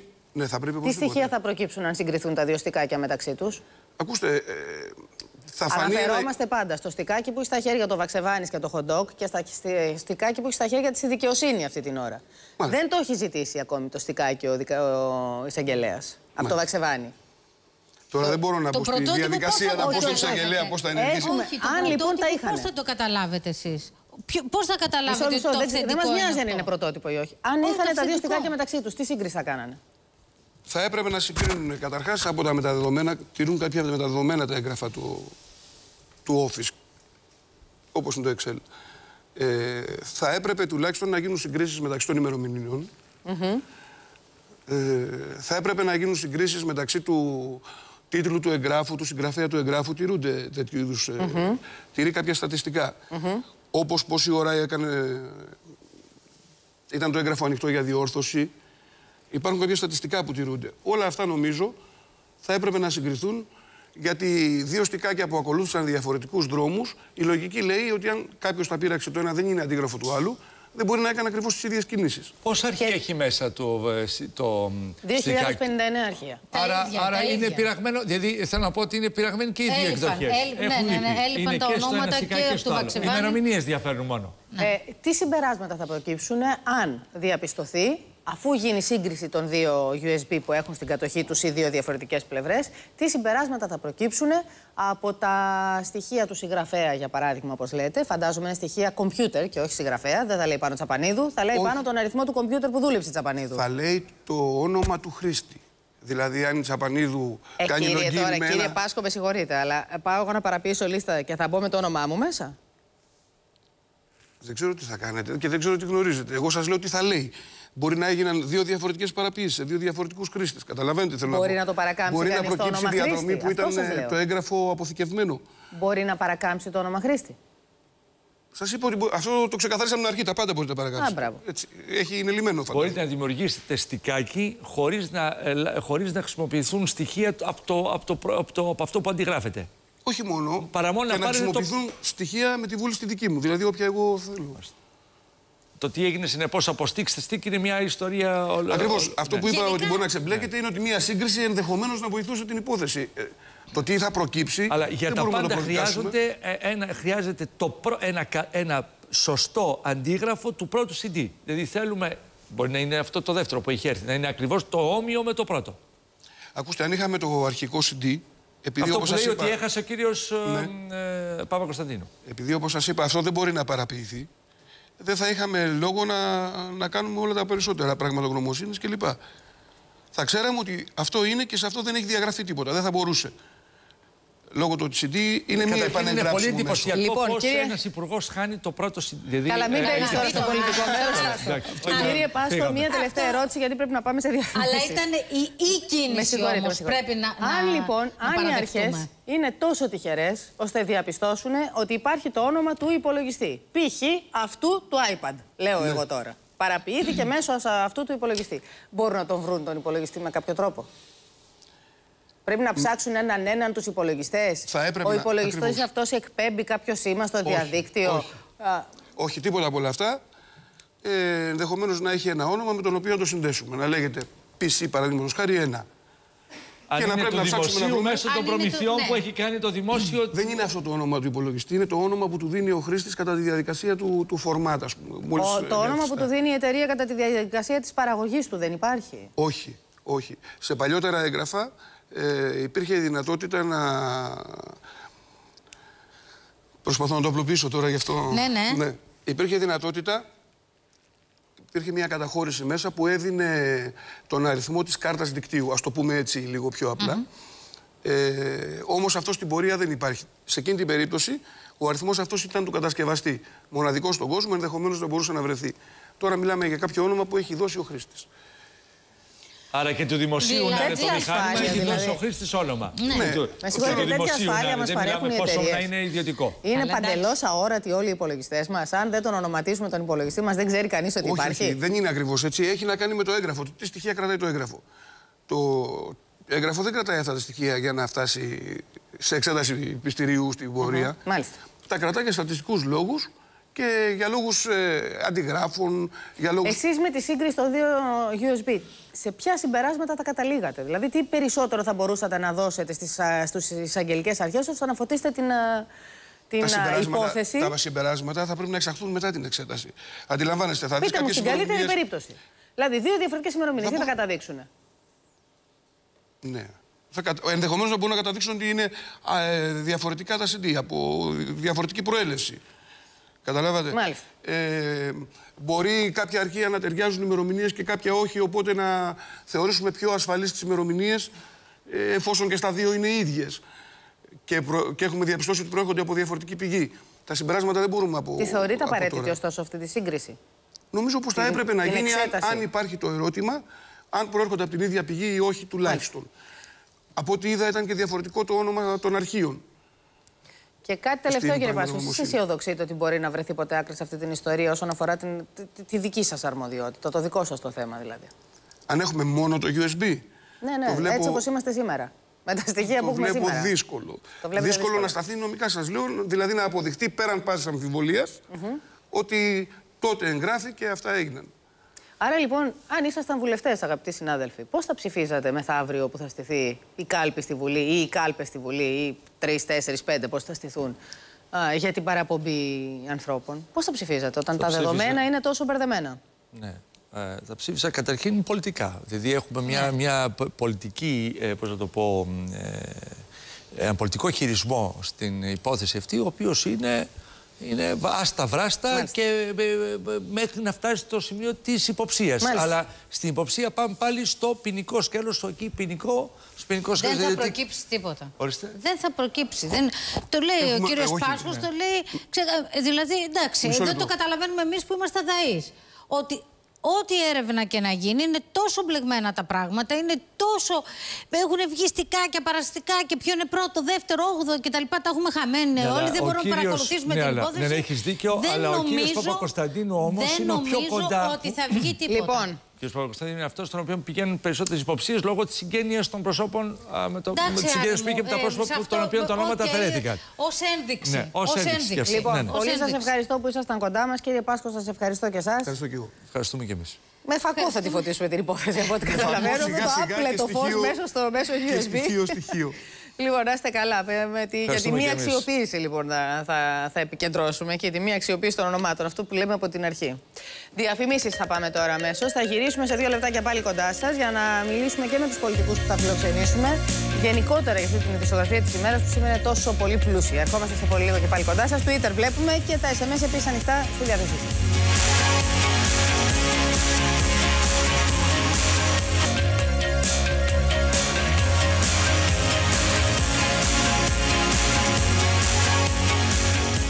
Λοιπόν, επιστρέψαμε εδώ και πάλι κοντά σας. Έχει πάει η ώρα 11 λεπτά μετά τις 11. Συντονιστείτε εδώ στο Sky. Θα πάμε ξανά στα γραφεία της Νέας Δημοκρατίας σε λίγο να δούμε τι συμβαίνει εκείνο ο Μιχάλης ο Τεζάρης.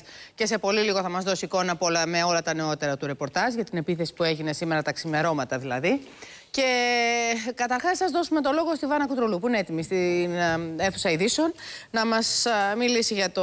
να μας δώσει το ρεπορτάζ από το εξωτερικό δελτίο. Ξεκινώντας από το BBC και τι μεταδίδει σε σχέση με Λαγκάρντ και Ελλάδα. Λοιπόν, είχαμε μια αποκλειστική συνέντευξη της ε, κυρίας Λαγκάρντ στο BBC, λοιπόν, Πόπη, στην οποία εμφανίστηκε αισιόδοξη τόσο για την ελληνική όσο και για την ευρωπαϊκή οικονομία. Σχετικά με την Ελλάδα, είπε ότι έχει καταβάλει τεράστιες προσπάθειες στη μείωση του δημοσιονομικού ελλείμματος. Θα καταφέρει σε λίγο ένα πρωτογενές πλεόνασμα. Όμως η χώρα πρέπει να καταβάλει ε, ακόμη μεγαλύτερες προσπάθειες, είπε η κυρία Λαγκάρντ, στη συλλογή εσόδων και φόρων την ίδια ώρα στα Σκόπια Πόπη έχουμε προκλήσεις ε, κατά της Ελλάδας στο καρναβάλι της πόλης Βεύτσανη στα Σκόπια.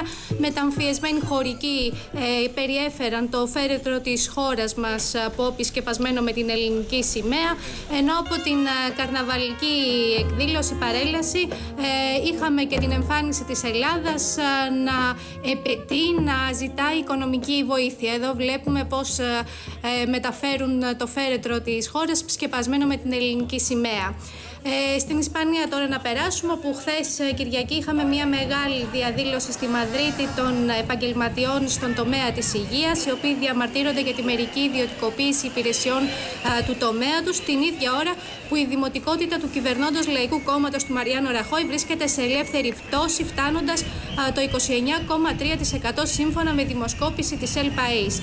Στη Γαλλία τώρα ξεκινά μια δύσκολη εβδομάδα, καθώς συνδικάτα και εργοδότες πρέπει τελικά να βάλουν υπογραφές στην καταρχήν συμφωνία στην οποία κατέληξαν για τη μεταρρύθμιση ε, του εργασιακού, με τους εργοδότες από τη μία να κερδίζουν ευελιξία στην μείωση, στο πώς θα μειώνουν μισθούς, ώρες εργασίας. και από την άλλη τα συνδικάτα να κερδίζουν περισσότερα ε, δικαιώματα στην ιδιωτική ασφάλιση υγείας καθώς και στα επιδόματα ανεργίας. Στη Γαλλία να παραμείνουμε όπου έχει ανέβει το επίπεδο συναγερμού στα δημόσια κτίρια και στα μέσα μαζικής μεταφοράς λόγω της επιχείρησης που βρίσκεται σε εξέλιξη από τη γαλλική αεροπορία στο βόρειο Μάλι της Αφρικής. Την ίδια ώρα συνεδριάζει σήμερα το Συμβούλιο Ασφαλείας μετά από αίτημα της Γαλλίας. Και να κλείσουμε τώρα με την αντιπαράθεση που έχει ξεσπάσει ανάμεσα σε Γαλλία και Τουρκία με τον Τούρκο Πρωθυπουργό Ερντογάν να ζητά από τον Γάλλο Πρόεδρο Φρανσουά Ουλάντ εξηγήσεις για τις επαφές που είχε με τις ακτιβίστριες κουρδικής καταγωγής που εκτελέστηκαν στο Παρίσι. Την ίδια ώρα, όλο το Σαββατοκύριακο, είχαμε μεγάλες διαδηλώσεις στο Παρίσι Κούρδων κατά της Τουρκίας, Πόπη. Θα σε ευχαριστήσουμε πολύ, Βάνα. Πάμε στο Μιχάλη Τεζάρη τώρα στα γραφεία της Νέας Δημοκρατίας. Μιχάλη. Έχω συμπληρωθεί 8 ώρες πόπη από την ώρα που οι άγνωστοι επιτέθηκαν με καλάστικοφ κατά το γραφείο της Νέας Δημοκρατίας εδώ στο λεωφόρο Συγκρού. Οι αστυνομικοί μέχρι αυτή την ώρα συνεχίζουν τι έρευνες. Έχουν βρει 9 κάλικες από Καλάστνικοφ. Οι δύο από τις βολίδες βρήκαν στόχο. Το ένα, η μία μάλιστα πήγε στο γραφείο του Πρωθυπουργού, του κυρίου Αντώνη Σαμαρά. Η άλλη βρήκε ε, στην ταράτσα του κτηρίου. Όπως μπορείτε να δείτε, οι έρευνες συνεχίζονται. Βέβαια, με, τις, με τους αστυνομικούς να έχουν επικεντρώσει ω επιτοπλίστων στο αυτοκίνητο που βρέθηκε καμένο λίγη ώρα μετά την επίθεση στην οδό Φλέμινγκ στο παλαιό Φάληρο. Καθώ πιστεύουν, εικάζεται ότι το αυτοκίνητο ε, αυτό ε, πήρε μέρος με κάποιον τρόπο στην επίθεση που έγινε εδώ στις 3 τα ξημερώματα. Ο κύριος Κεφαλογιάννης, όπως ο κύριος Κεδίκογλου, καταδίκασαν την επίθεση αυτή και ε, υποστήριξαν πως η δημοκρατία δεν τρομοκρατείται. Αναμένουμε τα αποτελέσματα της βαλιστικής και σε κάθε περίπτωση, βέβαια, οι αστυνομικοί θα ελέγξουν και τις κάμερες που υπάρχουν στο κτίριο, μήπως καταφέρουν να φτάσουν στα ίχνη των δραστών. Α ευχαριστήσουμε πολύ. Θα μείνουμε στο θέμα, διότι σας είπαμε για τηλεφωνική επικοινωνία. Σαμαρά Βενιζέλου νωρίς το πρωί. Λίγο νωρίτερα, λίγο, λίγη ώρα πριν, μετά την συνομιλία του, των δύο αντρών, έγινε και ένα νέο τηλεφώνημα στον κύριο Σαμαρά. Μίλησε με τον κύριο Τσίπρα από τη Γερμανία που βρίσκεται. Ο πρόδρομος Παπαϊλιόπουλο θα μας πει τι είπαν οι δύο άντρες. Λοιπόν, ο κύριος ε, Τσίπρας πήρε πριν από λίγη ώρα τον Πρωθυπουργό και εξέφρασε σήμερα πληροφορίε την αναγκαιότητα για μια εις βάθος ε, έρευνα και προς όλες τις κατευθύνσεις ε, να διερευνηθεί πλήρως η υπόθεση και φυσικά ε, ενημερώθηκε ε, σημειώνοντας την ανησυχία του για την επικίνδυνη κλιμάκωση της τρομοκρατικής ε, βίας όπως πληροφορούμαστε. Τώρα πριν από λίγο και ο ΣΥΡΙΖΑ καταδίκασε την επίθεση ε, απόλυτα στα γραφεία της Νέας Δημοκρατίας. Ωστόσο στην ανακοίνωση της Κουμουνδούρου υπάρχουν εχμές αφού τονίζεται Πόπη πως η κυβέρνηση και τα κόμματα που τη στηρίζουν σπέβδουν κάθε φορά να αξιοποιήσουν πολιτικά τις πράξεις τυφλής βίας και να αποκομίσουν πρόσκαιρα πολιτικά ωφέλη απέναντι στο ΣΥΡΙΖΑ. Η κυβέρνηση θέλει να εκμεταλλευτεί τα γεγονότα αυτά, λέει ο ΣΥΡΙΖΑ, υλοποιώντας μια στρατηγική έντασης και διχασμού, απαξιώντα παράλληλα τους κοινωνικούς αγώνες και στοχοποιεί τον ΣΥΡΙΖΑ ενώ συνειδητά καλλιεργεί κλίμα ενός νέου εμφυλίου. Σε ευχαριστήσουμε πάρα πολύ. Για πάμε τώρα με αυτά τα ερωτήματα στο τραπέζι για να συναντήσουμε τους πολιτικούς, να θέσω εγώ τις δικές μου ερωτήσεις και να μεταφέρω και τις δικές σας, τις οποίες μπορείτε να υποβάλλετε τόσο στο SMS το 54260 δηλαδή, όσο και στο Twitter, το οποίο θα ανοίξουμε αμέσως τώρα, το συγχρονίσω να το βλέπουμε και στις οθόνες μας. Καλημέρα και στον κύριο Απόστολο Ανδρεουλάκο, είναι νομικός και δικηγόρος, τονίζω την ιδιότητα. Υπήρξατε υπουργός, τέλεχο της Νέας Δημοκρατίας. Καλή σας μέρα, κύριε Ανδρεουλάκο. Και καλή χρονιά, Καλή χρονιά και σε εσάς.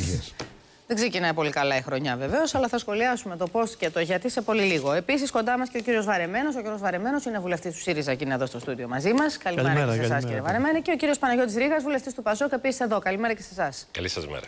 Λοιπόν, ξεκινήσανε μετά τις, τους πυροσβολισμούς στη Νέα Δημοκρατία και πυροβολισμοί μετα, μεταξύ των κομμάτων, διαπιστώνουμε. Έτσι. Είναι, να ξεκινήσω από εσάς, κύριε Βαρεμένε. Είναι ώρα τώρα και για υπονοούμενα και για σπόντες και για την ανακοίνωση αυτή. Κοιτάξτε να δείτε. υπονοούμενα. Δεν υπάρχουν υπονοούμενα.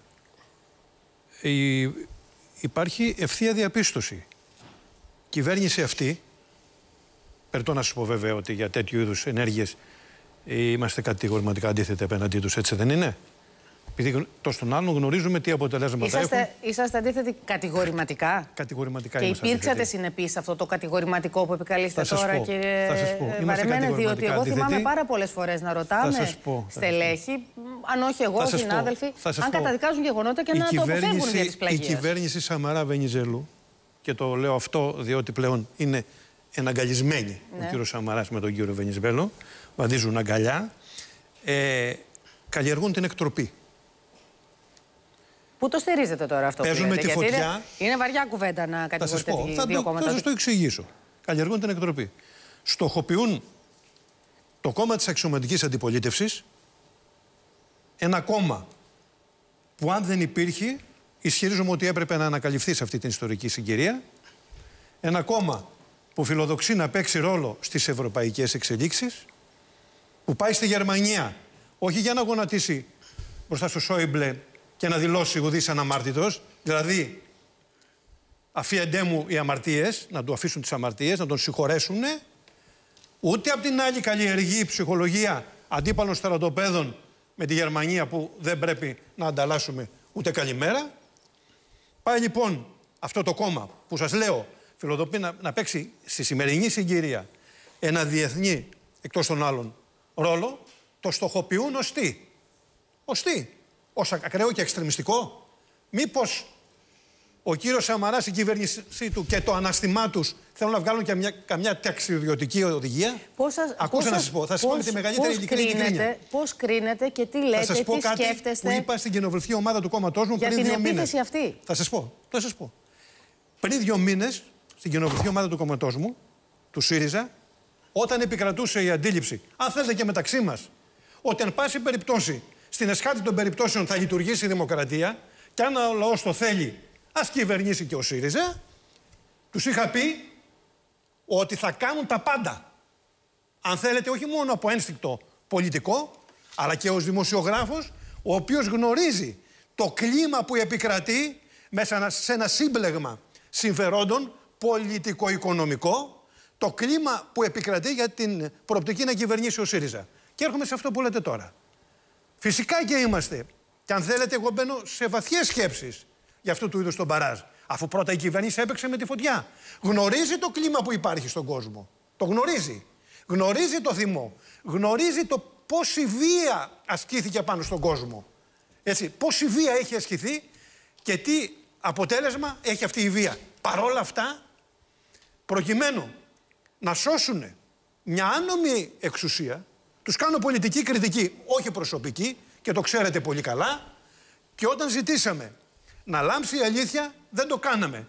Ούτε για να τους στοχοποιήσουμε προσωπικά, ούτε καν για να τους ρίξουμε μέσα από αυτή τη διαδικασία, διότι εάν μια κυβέρνηση εξαρτά την τύχη της να υπάρχει ή να μην υπάρχει από την αποκάλυψη ημί της αλήθειας, τίθεται το ερώτημα αν αυτή η κυβέρνηση αξίζει να υπάρχει. Μάλιστα. Κύριε Ανδρεουλάκο. Τι να πω. Εγώ δεν νομίζω ότι ο ΣΥΡΙΖΑ, και δεν το λέω για να κοκορομαχήσω με το φίλο μου τον Γιώργο τον Βαρεμένο, λοιπόν, δεν έχει ξεκαθαρίσει τη θέση της. Δεν λέω ότι όλος ο ΣΥΡΙΖΑ να πούμε ευνοεί οτιδήποτε, αλλά έχει και κάτι συνιστώσεις, έχει και κάτι καλόπεδα, έτσι δεν είναι, τα οποία οφείλει να ξεκαθαρίσει τα πράγματα. Δεν μπορεί δηλαδή να δηλώνει βουλευτής του ΣΥΡΙΖΑ ότι είμαι, ξέρω εγώ, αναρχικός και να περιμένει στην κοινοβουλευτική ομάδα, ούτε επίσης να δηλώνει βουλευτής του ΣΥΡΙΖΑ ότι έχω ολόκληρη συλλογή από μπουκάλια στο σπίτι μου για ανακύκλωση. Ανακύκλωση πού, στα κεφάλια των αστυνομικών. Και εδώ επίσης, και με όσα είπε ο κύριος Βαρεμένος, αλλά και με όσα δήλωσε ο κύριος Κουρλέτης. Είναι ευθεία καταδίκη αυτή. Αυτά τα μισόλαγα, αυτά τα υπονοούμενα, αυτή η πενιγμή, αυτό το αόριστο κλίμα που δημιουργείται μέσα από τις δηλώσεις αυτές, τι βοηθάνε. Είναι άμεσος καταδίκη. Βοηθά να, συ- να, ε, να συμπήξουμε ένα ενιαίο μέτωπο, όλα τα κόμματα, όλα τα κόμματα ενιαίο μέτωπο για να κόψουμε το δρόμο στη βία, να, να θωρακίσουμε τη δημοκρατία. Αυτή τη δημοκρατία όπως έχει διαμορφωθεί και όπως δοκιμάζεται από τα σκληρά μέτρα ε, της δημοσιονομικής εξηγέρσης. Η δήλωση του κ. Σκουλέτη, η υπόθεση έχει ένα άρωμα περίεργο που πρέπει να ψάξουμε. Είναι ένα σχέδιο που έχει πλευρές. Θα πρέπει να δούμε αν υπάρχουν συγκοινωνούντα δοχεία μεταξύ αυτών που οργανώνουν τις επιθέσεις και πολιτικών κέντρων που δημιουργούν κλίμα εμφυλίου. Ποιο είναι το σχέδιο; Ποιο είναι; Να πει, αν έχει υπόψη του κάποιο σχέδιο, να πει. Ποιοι επεξεργαστήκαν αυτό το σχέδιο; Να πει ονόματα. Όχι αόριστα πράγματα, ένα σχέδιο, συγκοινωνούν τα δοχεία, πολιτικά κέντρα που δημιουργούν κλίμα εμφυλίου. Αυτά δεν είναι, δεν είναι προς την κατεύθυνση εμπεδών με αίσθημα ασφαλείας κοινωνική ειρήνη στον κόσμο. Αν δεχτούμε ότι ο ΣΥΡΙΖΑ. Μισό λεπτό, κύριε Βαρδέλη. Δεν είναι κλίμα εμφυλίου. Αντώνη Σαμαρά. Τώρα εντάξει τώρα. Αντώνη Σαμαρά. Δηλαδή αυτή τη στιγμή. Καλλιεργεί κλίμα αυτή, εμφυλίου. Αυτή τη στιγμή. Αυτός έχει την απόλυτη ευθύνη. Χωρίς να με ενδιαφέρει ποιοι υπογράφουν κάθε φορά τις ανακοινώσεις της Νέας Δημοκρατία. Δεν σας διέκοψα. Κάθισα. Δεν σας διέκοψα. Όχι, γιατί με ρωτήσατε. Συγγνώμη. Ναι. Λοιπόν, κυρία Τσαπανίδου, τη στιγμή κατά την οποία με καλά βάλετε τα κεντρικά γραφεία του κόμματος και μια βολίδα βρίσκεται και στο γραφείο του πρώτου της Νέας Δημοκρατίας. Τη στιγμή κατά την οποία προχθές ε, εκάεσαν ε, 4-5 γραφεία της νέας, τοπικά της Νέας ε, ε, Δημοκρατίας που επίσης ε, υπέστη δηλαδή και το σπίτι του αδελφού του αδελφού και, και, και, άλλα, και, και δημοσιογράφοι και ναι, Είναι δυνατόν αυτή την ώρα δηλαδή να βγαίνει ο ΣΥΡΙΖ με αυτές, με αυτές τις δηλώσεις. Αυτό, αυτό σημαίνει ότι Κύριε ξεκάθαρα το σώμα θα... Μισό λεπτάκι λίγο Γιώργο Βαρμένη. Αυτό που προσπαθώ εγώ να σας πω είναι ευθύνες εσείς αναγνωρίζετε στο, στο κόμμα το δικό σας. Στο κόμμα το οποίο εκπροσωπείτε σήμερα; Δηλαδή, κάνοντας μία αυτοκριτική. Ναι, Έχουμε αυτά όλα τα γεγονότα ναι, του, τελευταίου, ναι. του τελευταίου διαστήματος. Για την πόλωση στο κλίμα ευθύνεται μόνο ΣΥΡΙΖΑ; Δηλαδή, ποια πόλωση, κυρία; Δεν υπάρχει πόλωση, δεν Μισό λεπτό. Δηλαδή, σε τι ευθύνεται η Νέα Δημοκρατία; Δηλαδή, ευθύνεται η Νέα Δημοκρατία που πήγε να ξεκαθαρίσει η, η κυβέρνηση της Νέας Δημοκρατίας, το Υπουργείο ε, Δημοσίας Τάξης, πήγε να ξεκαθαρίσει τα, τα, τα δημόσια κτίρια όπως είναι η Βίλα Αμαλίας, δηλαδή από τις καταλήψεις. Αυτό είναι χρέος που έπρεπε να το έχουμε κάνει εδώ και χρόνια. Αν, αν ήταν σοβαρό το πολιτικό σύστημα, ανεξάρτητα αν ήταν στην κυβέρνηση ή ήταν στην αντιπολίτευση, έπρεπε να αξιώσει τέτοια φαινόμενα βίας να μην λαμβάνουν χώρα. Διότι τι κάναμε τώρα; Το βλέμμα. Διότι να σα πω κάτι, τι κάναμε; Επεδώσαμε όλα αυτά τα χρόνια. Το να στρέφετε το βλέμμα και το δάχτυλο και να δείχνετε ένα κόμμα που έχει ε, πια τέτοια αποδοχή από τον κόσμο. Δεν, δεν είναι πόλωση, δεν οδηγείται σε πόλωση. Εγώ, εγώ προσέξτε, δείτε. Αυτόν που είναι απέναντι από το ΣΥΡΙΖΑ, το δικό σας το ψηφοφόρο. Δεν τοποθετούμε μόνο και μόνο με κομματικά κριτήρια. Να μην σας πω καθόλου. Εγώ έχω να κάνω το εξής. Αυτή τη στιγμή ο ΣΥΡΙΖΑ είναι το κόμμα της αξιωματικής αντιπολίτευσης. Έχει σπουδαίο θεσμικό ρόλο να διαδραματίσει και ανα πάσα στιγμή μπορεί να γίνει κυβέρνηση. Ο ίδιος ο ΣΥΡΙΖΑ, εάν δεν θέλει να δικεί τον εαυτό του και αν δεν θέλει να περιοριστεί δραστικά η απήχηση στο λαϊκό σώμα, θα πρέπει το ίδιο, ο ίδιος ο ΣΥΡΙΖΑ δηλαδή να αυτοκαθαρθεί και να ξεκαθαρίσει τα πράγματα ακριβώς διότι λοιπόν. είναι, δεν είναι το 3%. Προσέξτε, και δεν έχει ανάγκη μερικές συνιστώσεις. Σας διακόπτω για λίγο, διότι μου ναι. λένε από το κοντρόλ τώρα ότι για το θέμα αυτό για το οποίο συζητάμε είχαμε ένταση λίγο νωρίτερα και μέσα στη Βουλή. Ο Αντώνης είναι στη Βουλή, ο Αντώνης Ατζολέτος. Σας ακούμε, Αντώνη αντιδράσεις πρέπει να σου πω ο Πόπη προκάλεσε μια αποστροφή μιας τοποθέτησης του Μανώλη Γλέζου ο οποίος είπε χαρακτηριστικά πως ε, τέτοιου είδου ενέργειες, από τέτοιου είδους ενέργειες δεν οφειλείται η αριστερά και αναρωτήθηκε μήπως αυτές προέρχονται από παρακρατικέ οργανώσεις που πρόσχεται στη Νέα Δημοκρατία. Άμεση ήταν απάντηση του κοινοβουλευτικού εκπροσώπου, του κυρίου Βορύδη, ο οποίος είπε ότι ούτε ως υπονοούμενο ούτε ως ενδεχόμενο ότι δίθεν επικοινωνιακά μετακινείται το κέντρο βάρους στη Δημοκρατία ε, μπορεί να πει κάποιος ε, για το κόμμα της, ε, το οποίο στηρίζει την ε, κυβέρνηση. πρέπει να σου πω ότι το λόγο πήραν όλοι οι κοινοβουλευτικοί εκπρόσωποι οι οποίοι εξέφρασαν την καταδίκη τους για το συγκεκριμένο θέμα. αναφορά έκανε και ο κύριος Λαφαζάνης, ο οποίος είπε ότι με κατηγορηματικότητα καταδικάζουμε και αποδοκιμάζουμε τέτοιες ενέργειες και είναι πάγια θέση του ΣΥΡΙΖΑ. Ο κύριος Κουίκ από τους ανεξάρτητους Έλληνες είπε ότι είναι περίεργη η αλληλουχία αυτών των γεγονότων. την καταδίκη του εξέφρασε ο κύριος Χρυσοχοίδης από το ΠΑΣΟΚ. Αυτή η βία ωφελεί την κυβέρνηση, ανέφερε ο κύριος Παπάς από τη Χρυσή Αυγή, ενώ την καταδίκη του εξέφασαν και ο Νίκος Τσούκαλης από τη Δημοκρατική Αριστερά και ο κύριος Παφίλης από το Κομμουνιστικό Κόμμα. Μάλιστα. Πόπη. Αντώνη, να σε ευχαριστήσουμε πολύ. Στον κύριο Ρίγα θα δώσουμε το λόγο τώρα για το ίδιο θέμα, κύριε Ρίγα. Κυρία Τσαπανίδου, θεωρώ ότι η προσέγγιση με επικοινωνιακούς όρους τέτοιων γεγονότων δείχνει ότι κάποιοι δεν έχουμε καταλάβει τη σοβαρότητά τους. Κατά την άποψή μου πρέπει να μας ανησυχήσει ιδιαίτερα το φαινόμενο της κλιμάκωσης της βίας, το οποίο δεν είναι απλά μια συγκυριακή ιστορία που μπορούμε με ένα χαρτοπόλεμο ανακοινώσεων να την αντιμετωπίσουμε. Αυτή τη στιγμή οφείλει όλος ο πολιτικός κόσμος που κινείται μέσα στα όρια του συνταγματικού και δημοκρατικού τόξου, απερίφραστα και κατηγορηματικά, να καταδικάσει τέτοιου είδους ενέργειες. Ούτε με αστερίσκους, ούτε με αλά, ούτε με μεν αλά.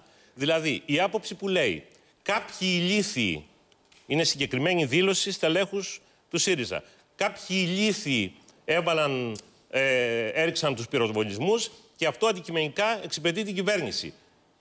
Με, με ένα τέτοιο χαρακτηρισμό αντιπαρερχόμαστε εγκληματικές ενέργειες. Ούτε ηλίθιοι είναι, ούτε χαζοί είναι. Μπορεί να είναι και ηλίθιοι, αλλά πάνω απ' όλα είναι εγκληματίες. Θα πρέπει λοιπόν να είμαστε απόλυτοι, να μην χωρίζουμε τη βία σε καλή και κακή και να αποφασίσουμε όλοι μαζί ποια είναι τα όρια που σε μια δημοκρατία δεν μπορούμε να τα ξεπεράσουμε. Εάν αυτό το συμφωνήσουμε, τότε η δημοκρατία μας πραγματικά δεν θα κινδυνεύει.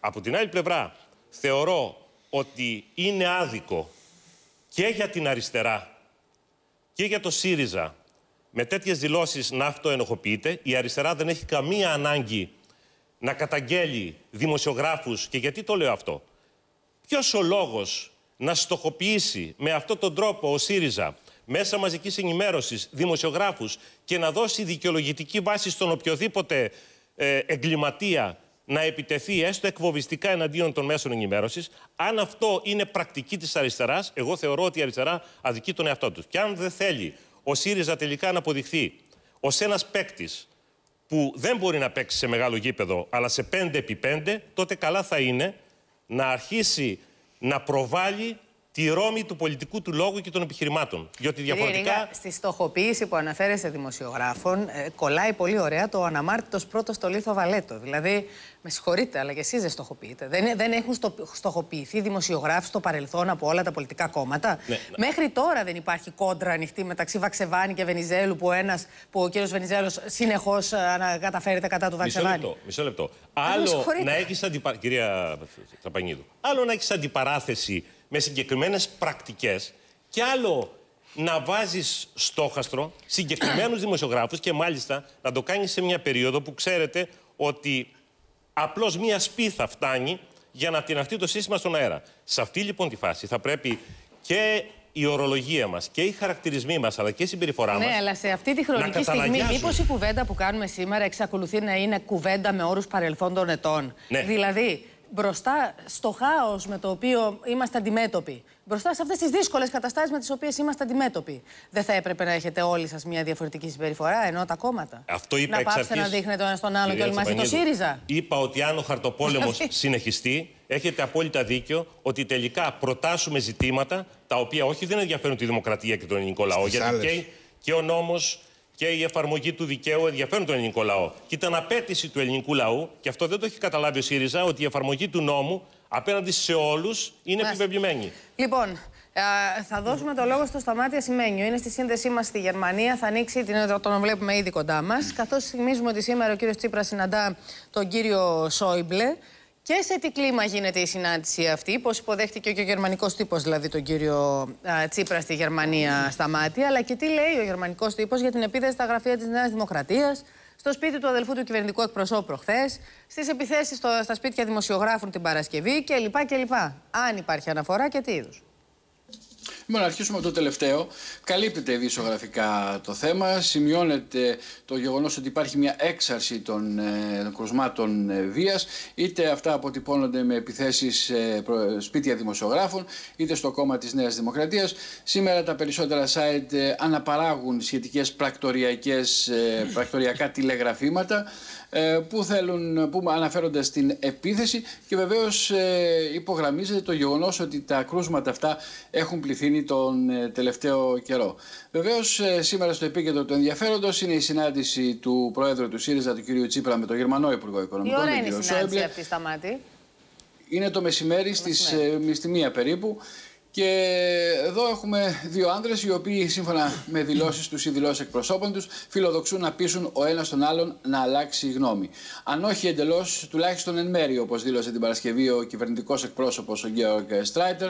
Ανάλογη ήταν και η απάντηση του Αλέξη Τσίπρας σε συνέντευξή του προς την Deutsche και τον ανταποκριτή μας στο Βερολίνο, τον Παραγιώτη Κουπαράνη, ο πρόεδρος του ΣΥΡΙΖΑ υπογράμμισε ότι δεν συνηθίζει να συναντά μόνο ανθρώπους με τους οποίους συμφωνεί και πως έχει πάντα την ελπίδα όταν συνομιλεί με ανθρώπους ότι μπορεί να τους πείσει να αλλάξουν γνώμη. Βεβαίως, εμείς γνωρίζουμε ότι αυτό είναι μάλλον ε, αδύνατο. Πάντως, και εδώ είναι η είδηση, ο πρόεδρος του ΣΥΡΙΖΑ θεωρεί επιβεβλημένο το άνοιγμα ενός διάβλου επικοινωνίας με τη γερμανική κυβέρνηση μια ομαλοποίηση των σχέσεων όπως χαρακτηριστικά επισήμανε, καθώς το Βερολίνο, όπως λέει, διαδραματίζει καθοριστικό ρόλο στις ευρωπαϊκές και ελληνικές ε, εξελίξεις.